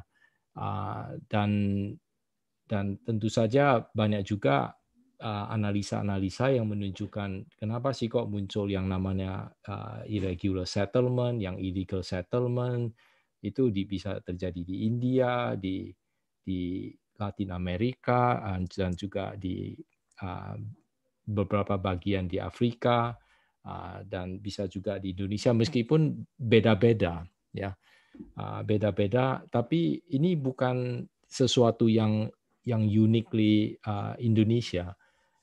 Dan meskipun saya mencoba membuat sesuatu yang boleh dianggap sebagai mencoba untuk supaya kelihatan unik dalam arti Indonesian urbanism itu karena ada kampung kota. Tapi kalau kita melihat tempat-tempat yang lain di kota-kota di Global South itu uh, ada kemiripan uh, yang demikian. Jadi pemukiman yang tumbuh karena kebutuhan uh, yang yang memang tidak masuk ke dalam perencanaan. Dalam arti tidak masuk dalam urban urban planning ya. Um, jadi ini bukan isolated case. Kalau saya jawab pertanyaan dari dari Farid itu banyak terlihat uh, di di banyak negara. Sehingga ada sebuah buku yang dibikin oleh Mike Davis yang namanya Planet of Slums. Meskipun kita selalu mau tidak mau memakai istilah slums ya. Uh, karena tidak semua itu slum sebetulnya. Tapi ini menunjukkan bahwa justru makin banyaknya jumlah megacities itu bukan berarti makin munculnya kota-kota yang terencana, uh, tapi justru makin banyak munculnya kota-kota yang yang yang sejarahnya itu tidak terencana. Mungkin itu ya jawaban untuk Farid. Baik, dan terima kasih uh, Pak Abidin. Uh, menarik sekali megacities justru makin tak terencana. Kali ini saya ingin mengundang uh, Pak Joseph Priyotomo. Um, beliau mengatakan kalau tidak bisa apa komputernya tidak bisa raise hand. Um, monggo Pak Joseph. Terima kasih Bapak Pemandu. Selamat pagi, Prof. Abidin. Saya mau memberi dua catatan kecil saja. Yang pertama mengenai kampung kota. Kalau ada kampung kota, apakah ada kampung desa ya? Dan kampung itu sendiri apakah memang dalam bahasa Indonesia menunjuk kepada bagian dari kota yang selama ini kita sebut kampung. Karena di bahasa daerah, Minangkabau itu ada yang namanya kampung di Aceh juga ada yang kampung, tapi kampung itu bukanlah kampung seperti yang ada di kota. Sehingga daripada menyebut kampung kota, saya cenderung lebih kepada kampung gitu saja. Sehingga kota itu terdiri atas kota dan kampung. Nah, masalahnya kan lantas nama kota itu apa ya? Yang lebih cocok lagi gitu. Karena Jakarta katanya kota, tapi Trenggalek itu katanya juga kota. Kota Trenggalek sama kota Jakarta itu, waduh, bumi sama langit perbedaannya. Masa sama-sama kota namanya? Itu catatan saya yang pertama. Catatannya saya yang kedua, mohon maaf Prof. Abidin, saya mungkin menyinggung Anda, tapi gini, pembicaraan dan pengkajian Anda terhadap Indonesia itu dilakukan sebagai terhadap Indonesia sebagai negeri yang sudah merdeka ataukah masih sebagai Hindia Belanda yang adalah koloni Belanda di Asia Tenggara. Saya curiga banyak sekali pengkaji Indonesia yang tidak mampu membuat pembedaan antara Hindia Belanda dengan Indonesia. Indonesia masih dianggap sebagai koloni Belanda yang disebut Hindia Belanda. Ini dua hal aja. Hal yang kedua ini juga sangat krusial di dunia arsitektur, Pak. Terima kasih, Profesor.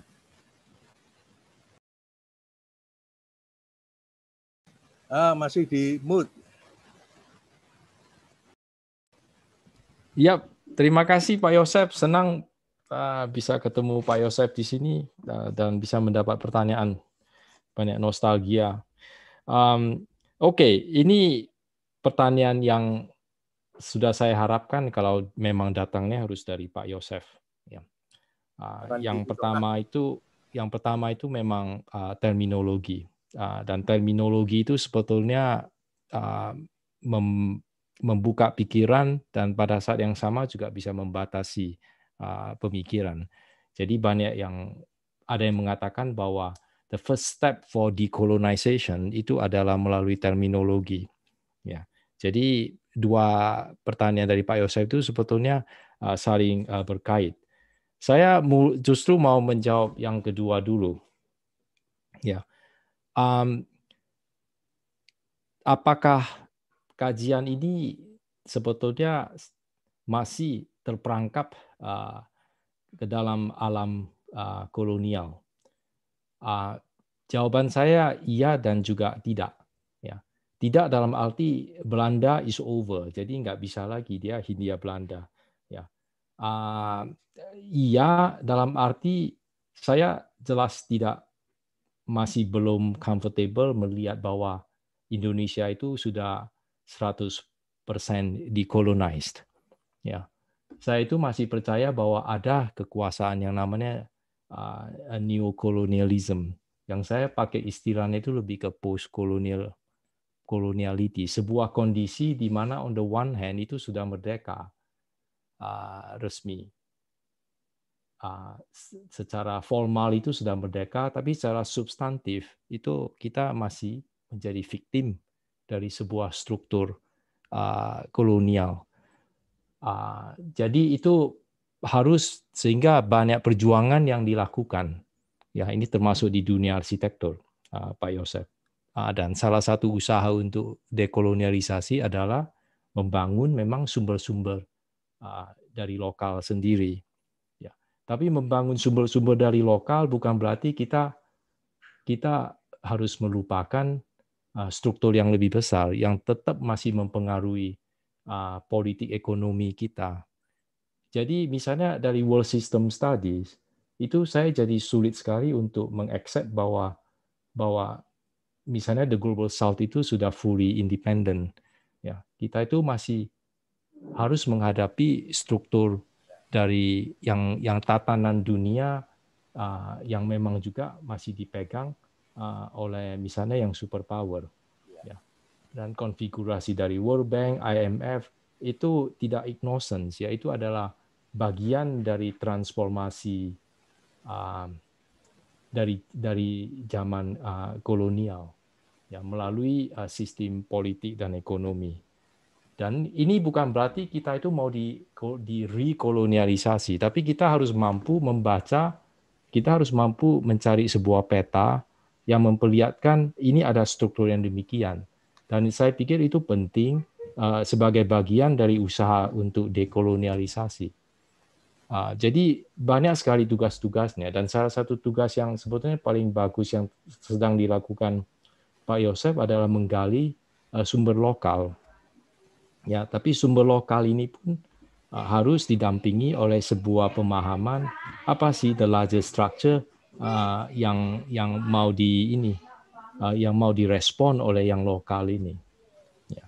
Dan jadi kemudian saya masuk ke uh, pertanyaan pertama mengenai terminologi tadi. Ya, jadi ini menarik kalau kampung itu memang uh, yang lokal, ya kota kalau menurut Peter Nash itu kata dari India.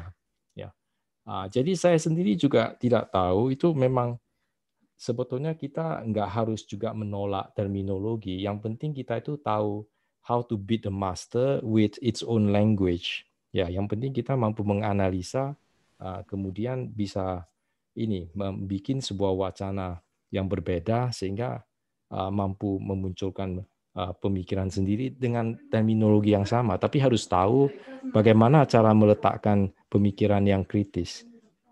Ya. Mungkin kira-kira begitu Pak Yosef.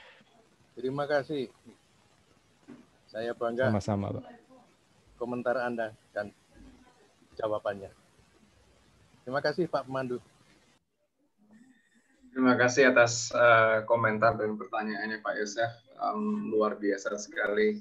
Um, saya kembali ke beberapa penanya yang uh, yang ada di Zoom. Um, saya mengundang uh, Monika Dewi dari Ibu Monika Dewi atau ya, Ibu Monika Dewi dari ITB um, untuk unmute dan menyampaikan pertanyaannya.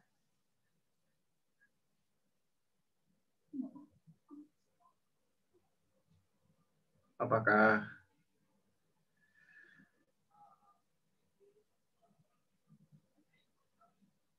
Oke, okay. um, bila tidak uh, bila tidak bisa uh, unmute. Um, pertanyaan beliau, um, kurang lebih seperti uh, kurang lebih demikian. Um, saya uh, ingin bertanya mengenai kampung kota. Saya tertarik dengan penelitian mengenai kampung kota dan saya baru-baru ini mulai membaca uh, jurnal mengenai kampung kota. Um, saya sudah membaca paper Bapak mengenai middling urbanism. Um, pertanyaan saya, apakah kampung kota menjadi penting untuk hadir dalam sebuah kota? Karena dalam paper Bapak yang saya tangkap, kampung kota itu menjadi sesuatu yang memang perlu ada. Tetapi bagaimana dengan permasalahan perkembangan uh, pertumbuhan uh, yang liar seperti squatter? Belum lagi permasalahan infrastrukturnya yang kurang baik. Jadi sebenarnya kampung kota itu harus uh, bagaimana kita harus menyikapi kampung kota tersebut. Terima kasih.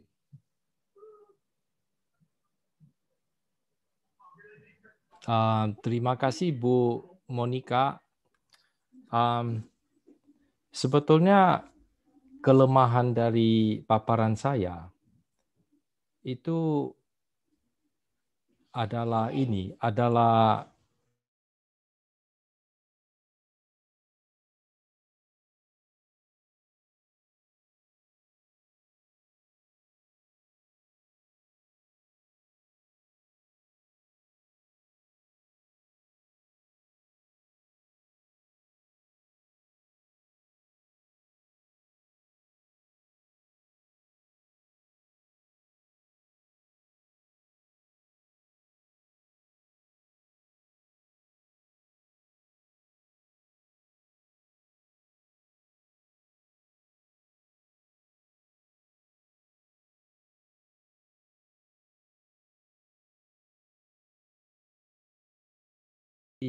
inilah bedanya uh, negara global south yang terutama yang post kolonial uh, dengan kota-kota metropol uh, di global north.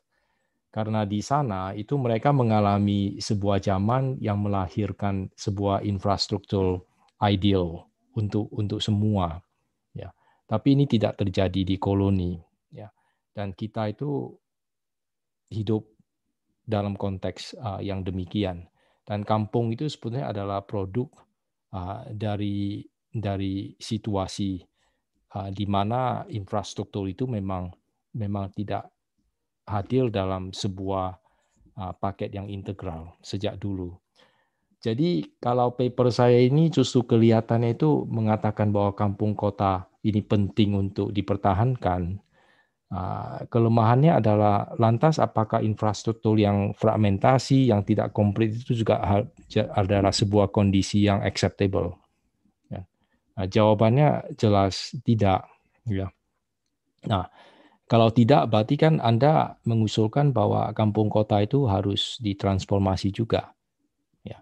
Nah, itulah sebetulnya yang menjadi dilema dari paparan saya. Dan ini sebetulnya yang lemahnya di sana ya mau dipertahankan iya tapi itu juga sebetulnya an unacceptable condition karena you accept the apa-apa yang sebetulnya uh, tidak terintegrated incomplete uh, uh, fragmentasi sehingga itu menjadi lahan yang sangat mudah dipakai untuk komodifikasi. Uh, sehingga proyek-proyek yang dikatakan oleh Mas Julfikal tadi, itu enclosure itu gampang sekali terjadi saat developer mau lahan tertentu, dia bisa langsung masuk. Ya, karena segala sesuatu itu fragmented pieces, ya, uh, jadi lemah. Ya, uh, dan inilah makanya saya justru senang ada di sini dengan para planner karena saya itu juga ingin tahu itu itu bagaimana. Uh, kampung kota on the one hand jelas dari paparan itu kelihatannya mempunyai fungsi yang luar biasa dan pada saat yang sama sebetulnya itu bagian dari the art of governing juga. Mungkin memang sengaja dipertahankan demikian ya. Jadi apakah lantas rekomendasinya kampung kota itu harus diperbaiki harus ditransformasi supaya tercapai sebuah integrated infrastruktur Ah, mungkin juga, tapi yang jelas kita nggak bisa lagi mengatakan bahwa kampung harus diselamatkan, kemudian ini semua harus dipertahankan, baik yang kumuh, baik yang bagaimana. Ah, kita itu harus berpikir secara lebih luas. Ah, kalau mau memperbaiki sebuah kampung, sebuah cluster itu harus punya wawasan yang luas. Ada perlu sebuah wawasan perkotaan di mana infrastruktur universal yang yang tidak pernah kita alami itu bisa bisa menjadi bagian dari sebuah perbaikan lingkungan. Kira-kira begitu mungkin ya Bu Monica. Saya ini juga perlu dibantu loh kadang-kadang. Baik, um, terima kasih atas responnya uh, Pak Abidin. Um, selanjutnya, oh, how are we doing for time? Kayaknya masih masih cukup ya waktunya ya. Um, saya ingin mengundang uh, Pak Muhammad Yusuf dari ITS um, beliau tadi menyampaikan uh, pertanyaan. Uh, bila ingin menyampaikannya secara langsung, saya persilahkan.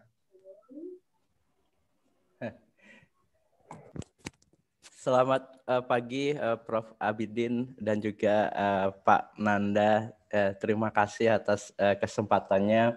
Moga-moga suara saya clear ya dan bisa terdengar oleh. Oke okay, ya, baik. Tadi sebenarnya apa yang saya tanyakan sebetulnya mungkin sudah tercover dari pertanyaannya uh, Ibu Monica ya. Jadi prinsiply uh, tadi saya melihat apa ya uh, fenomena tentang apa informality di kampung uh, kota begitu ya. Nah ini uh, tentu saja memunculkan tantangan tersendiri ya. Tadi mungkin sudah di apa dibahas oleh Prof uh, Abidin Kusno gitu ya yang apa menjadi apa concern saya kebetulan uh, uh, interest saya adalah dalam uh, public space management ya di urban setting begitu. nah ini kira-kira kalau apa ya kita melihat penyediaan ruang publik itu kan kayaknya kalau di perkotaan uh, uh, mindsetnya sangat formal begitu ya. Nah ini apa di kampung kota ini uh, apa ya mungkin konsepnya berbeda lagi begitu. Bisa jadi apa yang disebut sebagai public domain uh, yang kemudian bertransformasi menjadi public space ini uh, bentuknya secara fisik juga apa tidak seperti public space yang apa kita kita lihat seperti di taman-taman kota uh, pada umumnya gitu begitu. Sehingga apa ya saya melihat hal ini apakah ini nantinya menjadi sebuah tantangan tertentu begitu ya buat pemerintah kota untuk menyediakan eh, ruang-ruang uh, publik yang ini semestinya juga menjadi hak bagi warga kota dan menjadi sebuah apa ya kebijakan global ya sudah menjadi kebijakan uh, global dalam uh, right to the city itu tadi Pak gitu. Jadi apa ya itu sekedar menjadi kegelisahan ya, kegelisahan saya gitu dan barangkali ini Pak Abidin uh, punya apa ya, mungkin punya uh, main apa pemikiran begitu atau uh, gagasan ya kira-kira uh, untuk menyentuh kebutuhan-kebutuhan seperti ini bagaimana nanti apa ya kita meresponnya apakah kita merespon uh, dengan melihat itu sebagai informality dan dalam bentuk yang khusus ya artinya ruang publik yang khusus buat orang-orang kampung kota atau pemerintah harus uh, harus apa ya misalkan membebaskan lahan di tempat tertentu untuk misalkan memaksakan konsep ruang publik yang formal itu di uh, setting kampung kota tersebut. Uh, itu Pak mungkin yang ingin saya apa ya diskusikan dan mungkin saya tanyakan pagi ini. Terima kasih uh, kesempatannya uh, Prof Abin dan juga uh, Pak Nanda. Terima kasih, selamat pagi. Ya, um, uh, terima kasih. Uh, tadi siapa namanya saya lupa catat. Maaf, saya nama saya Yusuf Pak. Oh ya, uh, uh, uh, oke. Okay. Pertanyaan dari Yusuf berkenan uh, public space. Um, yang public space di forum yang di well di daerah yang formal uh, uh, dengan public space yang misalnya yang ada di di kampung.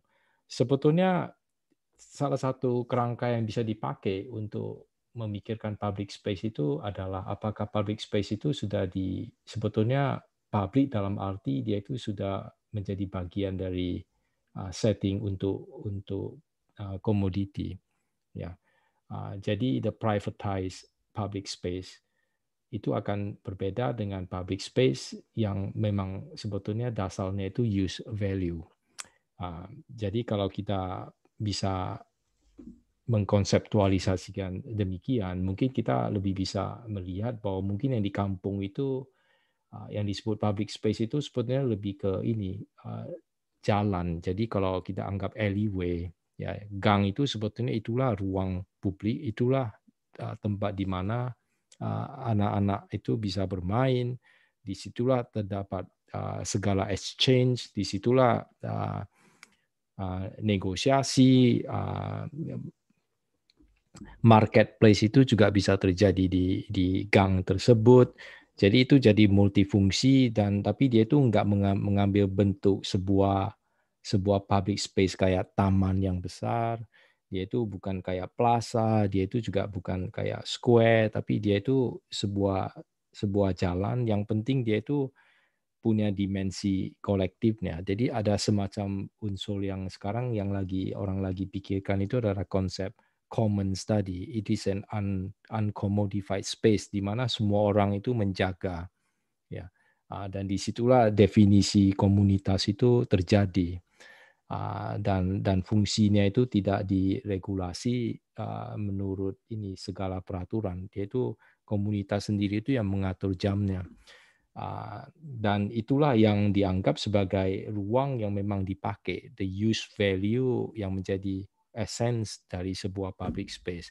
Dan ini akan sangat beda dengan public space yang misalnya diciptakan uh, oleh oleh uh, developer misalnya yang di super block itu kan sekarang banyak yang ngomong oh ini public space. Ya public space iya tapi itu ada ada aspek konsumsinya ya. Uh, itu itu public private uh, public oriented dari sebuah sebuah private space. Itu itu beda Ya, kemudian ada juga public space yang di, dibikin untuk mengglorify penguasa. Itu juga ada ya, menunjukkan bahwa ini penguasa memberi ruang sehingga sehingga Anda harus appreciate dan itu menlegitimize uh, sebuah uh, pemerintahan. Jadi banyak sekali fungsi-fungsi yang yang yang sebetulnya uh, di ini di di dalam uh, sebuah makna uh, public space.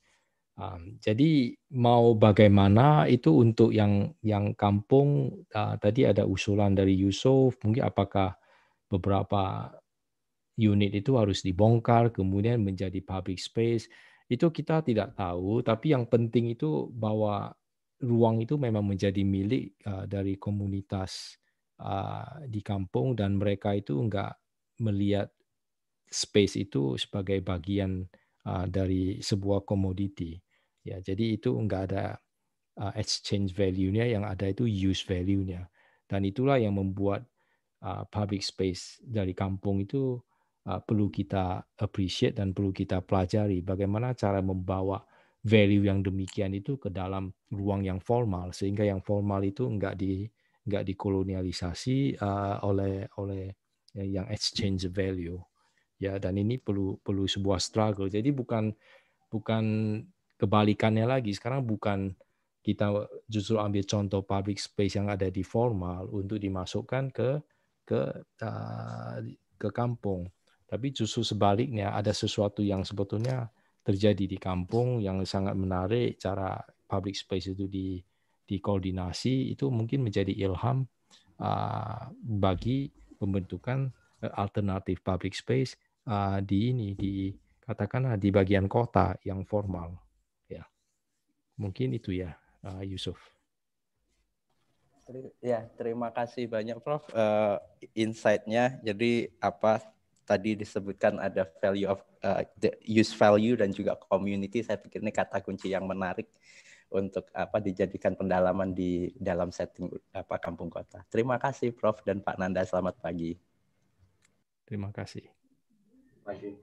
Um, jawaban uh, jawaban Pak Abidin tadi mengingatkan saya uh, soal uh, apa uh, soal mengingatkan saya akan akan tulisannya Jane Jacobs um, mengenai apa uh, ruang publik di jalan sebagai ruang apa jalan atau jalur-jalur sirkulasi sebagai ruang publik.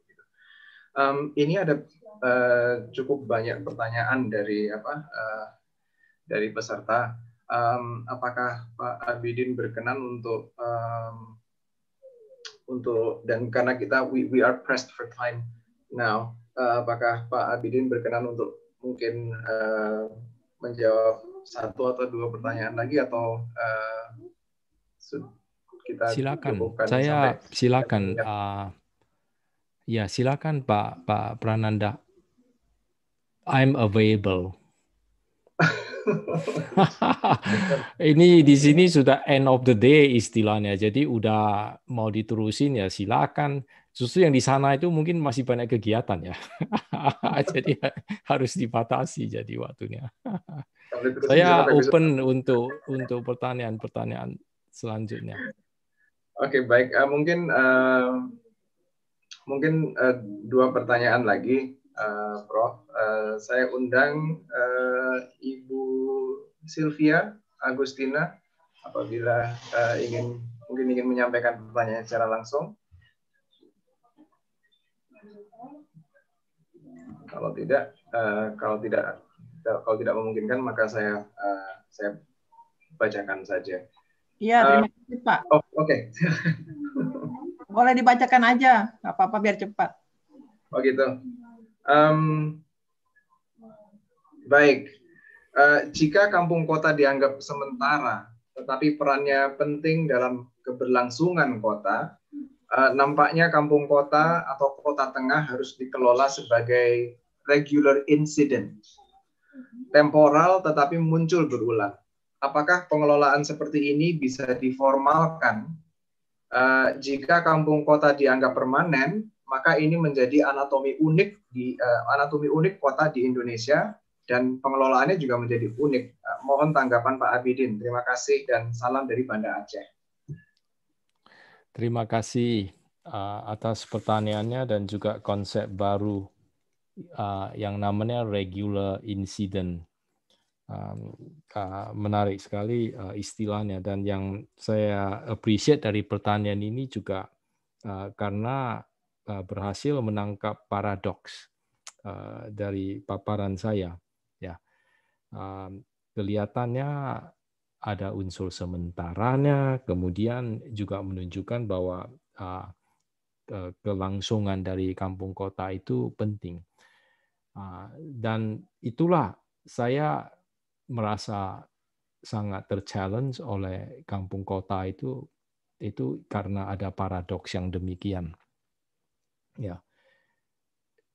Sebetulnya kita nggak berhak mengatakan bahwa apakah ini fenomena sementara yang transisional tadi kan, ataukah dia itu sebetulnya sesuatu yang unik dan akan akan bertahan terus.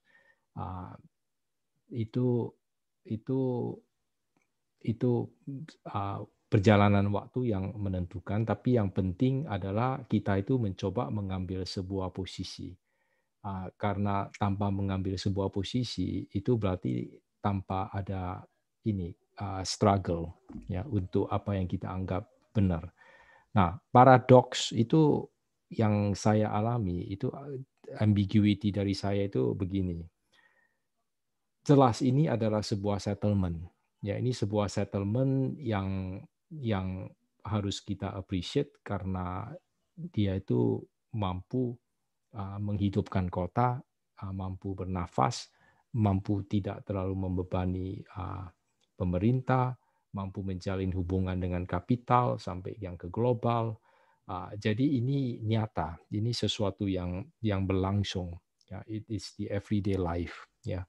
Nah, tapi pada saat yang sama kita juga sadar bahwa kampung itu juga adalah victim, yaitu korban dari sebuah zaman uh, yang tidak memberi kita sebuah uh, universal infrastructure. Ya, jadi ini tempat yang sebetulnya juga penuh dengan perjuangan, penuh dengan penderitaan, uh, dan kita nggak boleh terlalu romantis terhadap keadaan yang demikian. Ah, karena kalau kita memang mau progresif, kita justru harus memperjuangkan sebuah infrastruktur universal bahwa perlu ada uni ada infrastruktur yang bisa di, dipakai ah, dan itu bisa dipakai untuk semua orang, ya termasuk yang di kampung, termasuk yang di kota. Ah, jadi semua itu berhak, ya. Dan untuk itu maka memang perlu ada perubahan ya dan perubahan itu perlu karena kita merasa kondi, ada kondisi-kondisi tertentu itu yang yang unacceptable ya. Jadi kita perlu ada sebuah pemikiran yang baik. Oke, kalau ini unacceptable lantas apa yang menjadi acceptable?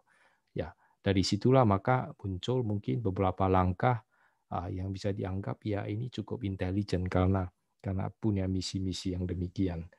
Um, jadi jadi saya sendiri itu berada dalam ini, dalam ketengahan ini.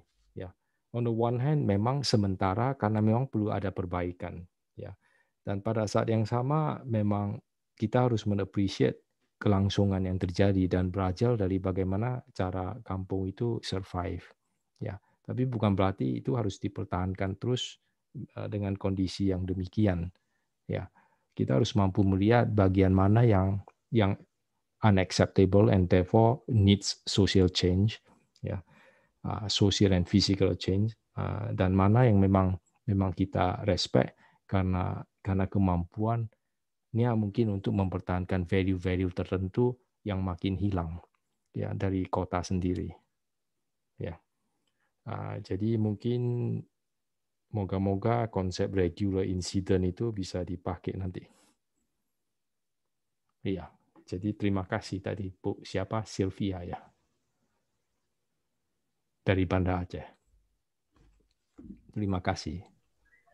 Baik, um, terima kasih atas uh, tanggapannya. Um, saya kira um, saya, saya ingin uh, memberi satu apa satu kesempatan uh, penanya terakhir, saya ingin saya ingin mengundang um, saya ingin mengundang guru saya Pak uh, Ngurah Antaryama untuk menyampaikan uh, pertanyaan terakhir uh, untuk menutup uh, sesi uh, diskusi kita kali ini.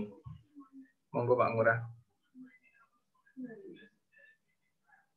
Is he here? Ada?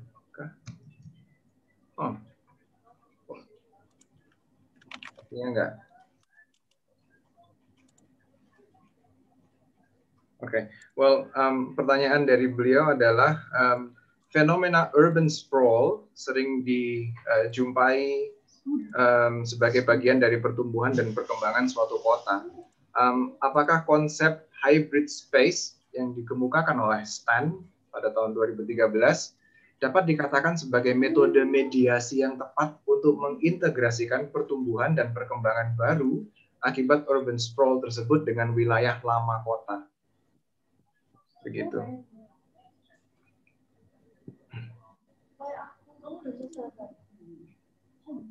Uh, terima kasih uh, Pak Pak Ngurah uh, atas pertanyaannya. Saya sendiri belum pernah membaca yang tulisan stand tadi ya uh, tentang hybrid space, um, saya cuma menangkap bahwa kalau yang namanya urban urban sprawl uh, itu kita harus tahu konteksnya itu apa.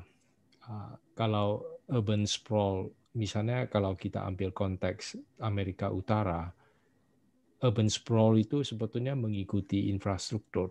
Jadi ada ada semacam uh, pola yang formal ah, dan memang sprawl itu akhirnya masuk ke daerah yang yang disebut sebagai green zone. Jadi green zone itu makin hilang sehingga sekarang muncul sebuah peraturan bahwa urban sprawl itu harus harus di stop. Ah, paradigma kota itu harus ke densification. Jadi semua itu lebih concentrated ah, ke urban center dan bangunan menjadi lebih tinggi sehingga urban sprawl itu itu mau di stop atau mau mau dibatasi.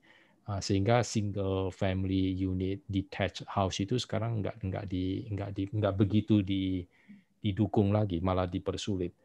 Um, um, jadi urban sprawl itu justru kalau untuk konteksnya kita itu yang kita pelajari dari Terry McGee desa kota itu dia menganggap bahwa konsep urban sprawl itu nggak begitu cocok karena open sprawl itu punya konotasi the spread of infrastructure. Uh, padahal yang terjadi di konteksnya kita itu adalah fragmentasi. Jadi yang punya infrastruktur itu adalah setapak, setapak demi setapak tergantung dari proyeknya siapa. Ah, dan satu tapak itu tidak terintegrasi dengan tapak yang lain. Jadi ini bukan urban sprawl menurut beliau, ya menurut Terry McGee. Uh, ini ini akhirnya dia nggak punya kata-kata yang baru, akhirnya dipakai desa kota. Ya, uh, jadi jadi unconnected pieces of infrastructure yang yang bukan fenomena dari urban urban sprawl jadinya. Nah, yang hybrid space itu kalau desa kota itu dianggap hybrid uh, space uh, oleh oleh Terry McGee, tapi saya tidak tahu apakah Stan itu ngomong dengan bahasa yang sama hybrid hybrid space itu maksudnya uh, apa di sini ya. Um, uh, mungkin hybrid space itu maksudnya urban kalau urban sprawl itu the new space uh, hybrid space itu adalah campuran dari the new space dengan kota lama tadi ya. Uh, sehingga yang lama dengan yang baru itu tercampur. Bisa saja itu sebagai bagian dari sebuah sebuah hybrid space, uh, tapi mungkin diskusi itu bisa diarahkan lebih ke ini yang infrastrukturnya itu seperti apa? Uh, yang menarik dan yang juga penting untuk kita perhatikan untuk konteks kita adalah ini kan? There is no unified infrastructure ya. Yang ada adalah uh, disconnectedness yang kemudian baru di connect yang di connect itu kemudian juga tidak menjalin hubungan dengan dengan sesuatu yang lebih besar yang karena tidak ada sesuatu yang lebih besar itu uh, jadi mungkin mungkin bagus untuk membentuk dialog dengan stand tapi kita perlu mengetahui konteksnya itu seperti apa Ya, terima kasih Pak uh, Ngurah. Baik, terima kasih atas uh, jawabannya Pak Abidin. Um, saya sudah beberapa kali di flag oleh panitia. Um, masih banyak pertanyaan yang belum terjawab, uh, namun karena keterbatasan waktu, um, kita terpaksa me, apa, um, kita terpaksa menunda diskusi-diskusi uh, tersebut untuk uh, apa, untuk disampaikan di lain kesempatan gitu. Um, sekali lagi terima kasih atas uh, paparannya, terima kasih atas respon-responnya, uh, dan saya kembalikan kepada uh, panitia.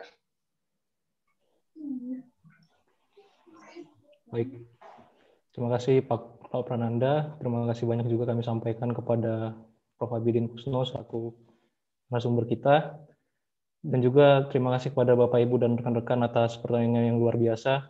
Sebelum itu Eh, mari kita sampaikan tepuk tangan virtual kita kepada Prof. Abidin dengan menekan tombol reaction button di Zoom kita masing-masing.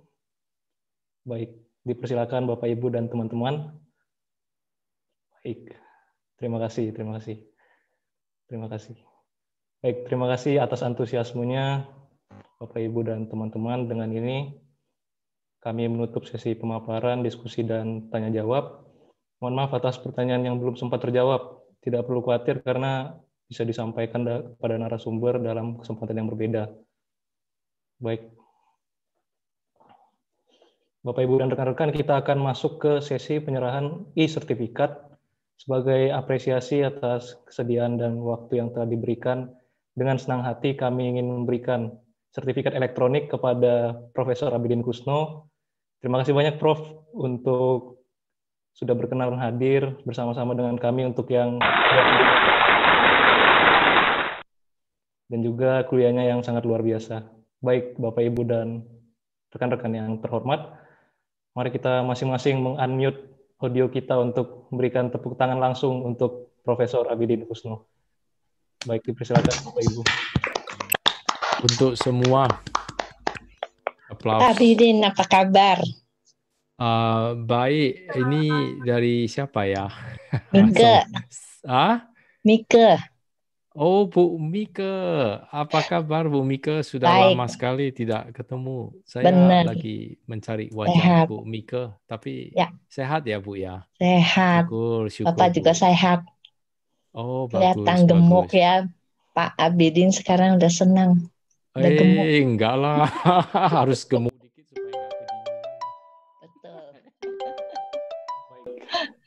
Baik Bapak Ibu dan rekan-rekan sekalian, terima kasih atas antusiasmenya yang luar biasa. Kali ini kita akan masuk ke sesi foto bersama virtual untuk Bapak Ibu dan rekan-rekan sekalian. Mari kita tunjukkan senyuman terbaik kita pada pagi hari ini dengan menghidupkan video kita masing-masing. Baik, Bapak Ibu dipersilakan untuk mengaktifkan videonya, menunjukkan senyum terbaiknya. Baik, teman-teman panitia, apakah sudah siap? Saya akan mulai hitung mundur. 5, 4, 3, dua satu. Baik sekali lagi mungkin ya. Lima empat tiga dua satu.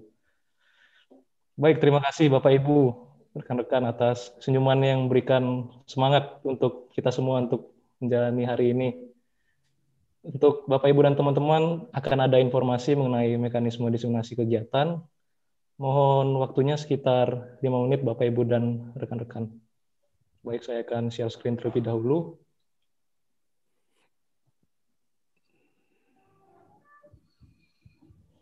Baik, mekanisme kompetisi diseminasi kegiatan untuk virtual public lecture people to people, bidang arsitektur, desain, dan urban planning. Baik teman-teman, setiap hari Senin, panitia akan mengirimkan link yang berisi rekaman public lecture. Kemudian, teman-teman dipersilakan untuk memposting ulang meretweet atau menyampaikan di media sosial teman-teman masing-masing. Atau bisa juga mengadakan workshop lokal di antara siswa. Teman-teman dipersilakan juga untuk melakukan aksi sosialisasi lebih dari satu kali dengan harapan mengumpulkan poin sebanyak-banyaknya. Nantinya dokumentasi setiap aksi diseminasi dikumpulkan melalui Google Form yang sudah disediakan oleh panitia melalui intip.in slash P2P VPL Competition. baik teman-teman, dokumentasi yang teman-teman kumpulkan diharapkan dapat divalidasi. Karena kan nanti dokumentasi yang teman-teman kumpulkan akan melalui proses validasi terlebih dahulu oleh panitia. Nantinya peserta dengan poin tertinggi akan dipilih sebagai pemenang. Untuk pengumpulan dokumentasi sendiri sudah dibuka sejak tanggal 28 September 2020 lalu sampai tanggal 15 Januari tahun depan. Nah, untuk hadiahnya kami menyediakan dua beasiswa penuh untuk mengikuti International Short Program di ITS untuk tahun depan, tahun 2021. Tentu saja kita berharap di tahun depan pandemi COVID-19 sudah berakhir. Amin. Untuk informasi, hadiah ini hanya kami peruntukkan untuk teman-teman mahasiswa. Untuk sistem penilaiannya, teman-teman bisa melihat uraiannya di sini. Untuk informasi juga, teman-teman dapat mendapatkan tambahan poin melalui tambahan kegiatan yang teman-teman lakukan. Untuk informasi lebih lanjut, teman-teman dapat membuka tautan www.its.ac.id slash international slash P2P VPL. Baik, saya akan mengakhiri penjelasan mekanisme diseminasi dengan sebaik pantun. Di kamar mandi bernyanyi sendiri pegang gayung warnanya biru. Mari tidak hanya memikirkan diri sendiri, karena berbagi itu lebih seru. Baik, Bapak, Ibu, dan teman-teman, demikian penjelasan mengenai mekanisme kompetisi, kompetisi diseminasi kegiatan. Bapak, Ibu, dan teman-teman sekalian, tidak terasa waktu berlalu sangat cepat. Kami ingin mengucapkan terima kasih untuk narasumber, moderator, dan semua peserta virtual public lecture pada hari ini. Sebelum menutup sesi ini, saya ingin mengingatkan Bapak, Ibu, dan rekan-rekan sekalian untuk seri VPL P2P selanjutnya pada tanggal 21 November 2020 dengan tema Written and Algorithm oleh yang tentunya tidak asing lagi, Ibu Dr. Melina Lim dari Carleton University, Kanada. Bapak Ibu jangan lupa untuk mencatat tanggal tersebut di agenda masing-masing. Kami sangat mengharapkan kehadiran Bapak Ibu sekalian di minggu depan. Baik demikian tadi seluruh acara VPL P2P seri 8 dengan topik Kota Tengah. Mewakili seluruh panitia yang bertugas, kami ucapkan terima kasih terutama kepada narasumber yang telah hadir, Profesor Abidin Kusno, dan juga moderator Bapak Dr. Prananda Navitas. Dan juga tidak lupa kami haturkan terima kasih kepada seluruh hadirin yang hadir. Semoga apa yang kita bahas hari ini bisa bermanfaat dan berguna untuk kemajuan kita semua. Selamat pagi dan wassalamualaikum warahmatullahi wabarakatuh. Terima kasih. Terima kasih Prof. Abidin. Terima Terima kasih, kasih Prof. semuanya. Terima Abidin. kasih. Ketemu lagi. Ketemu lagi.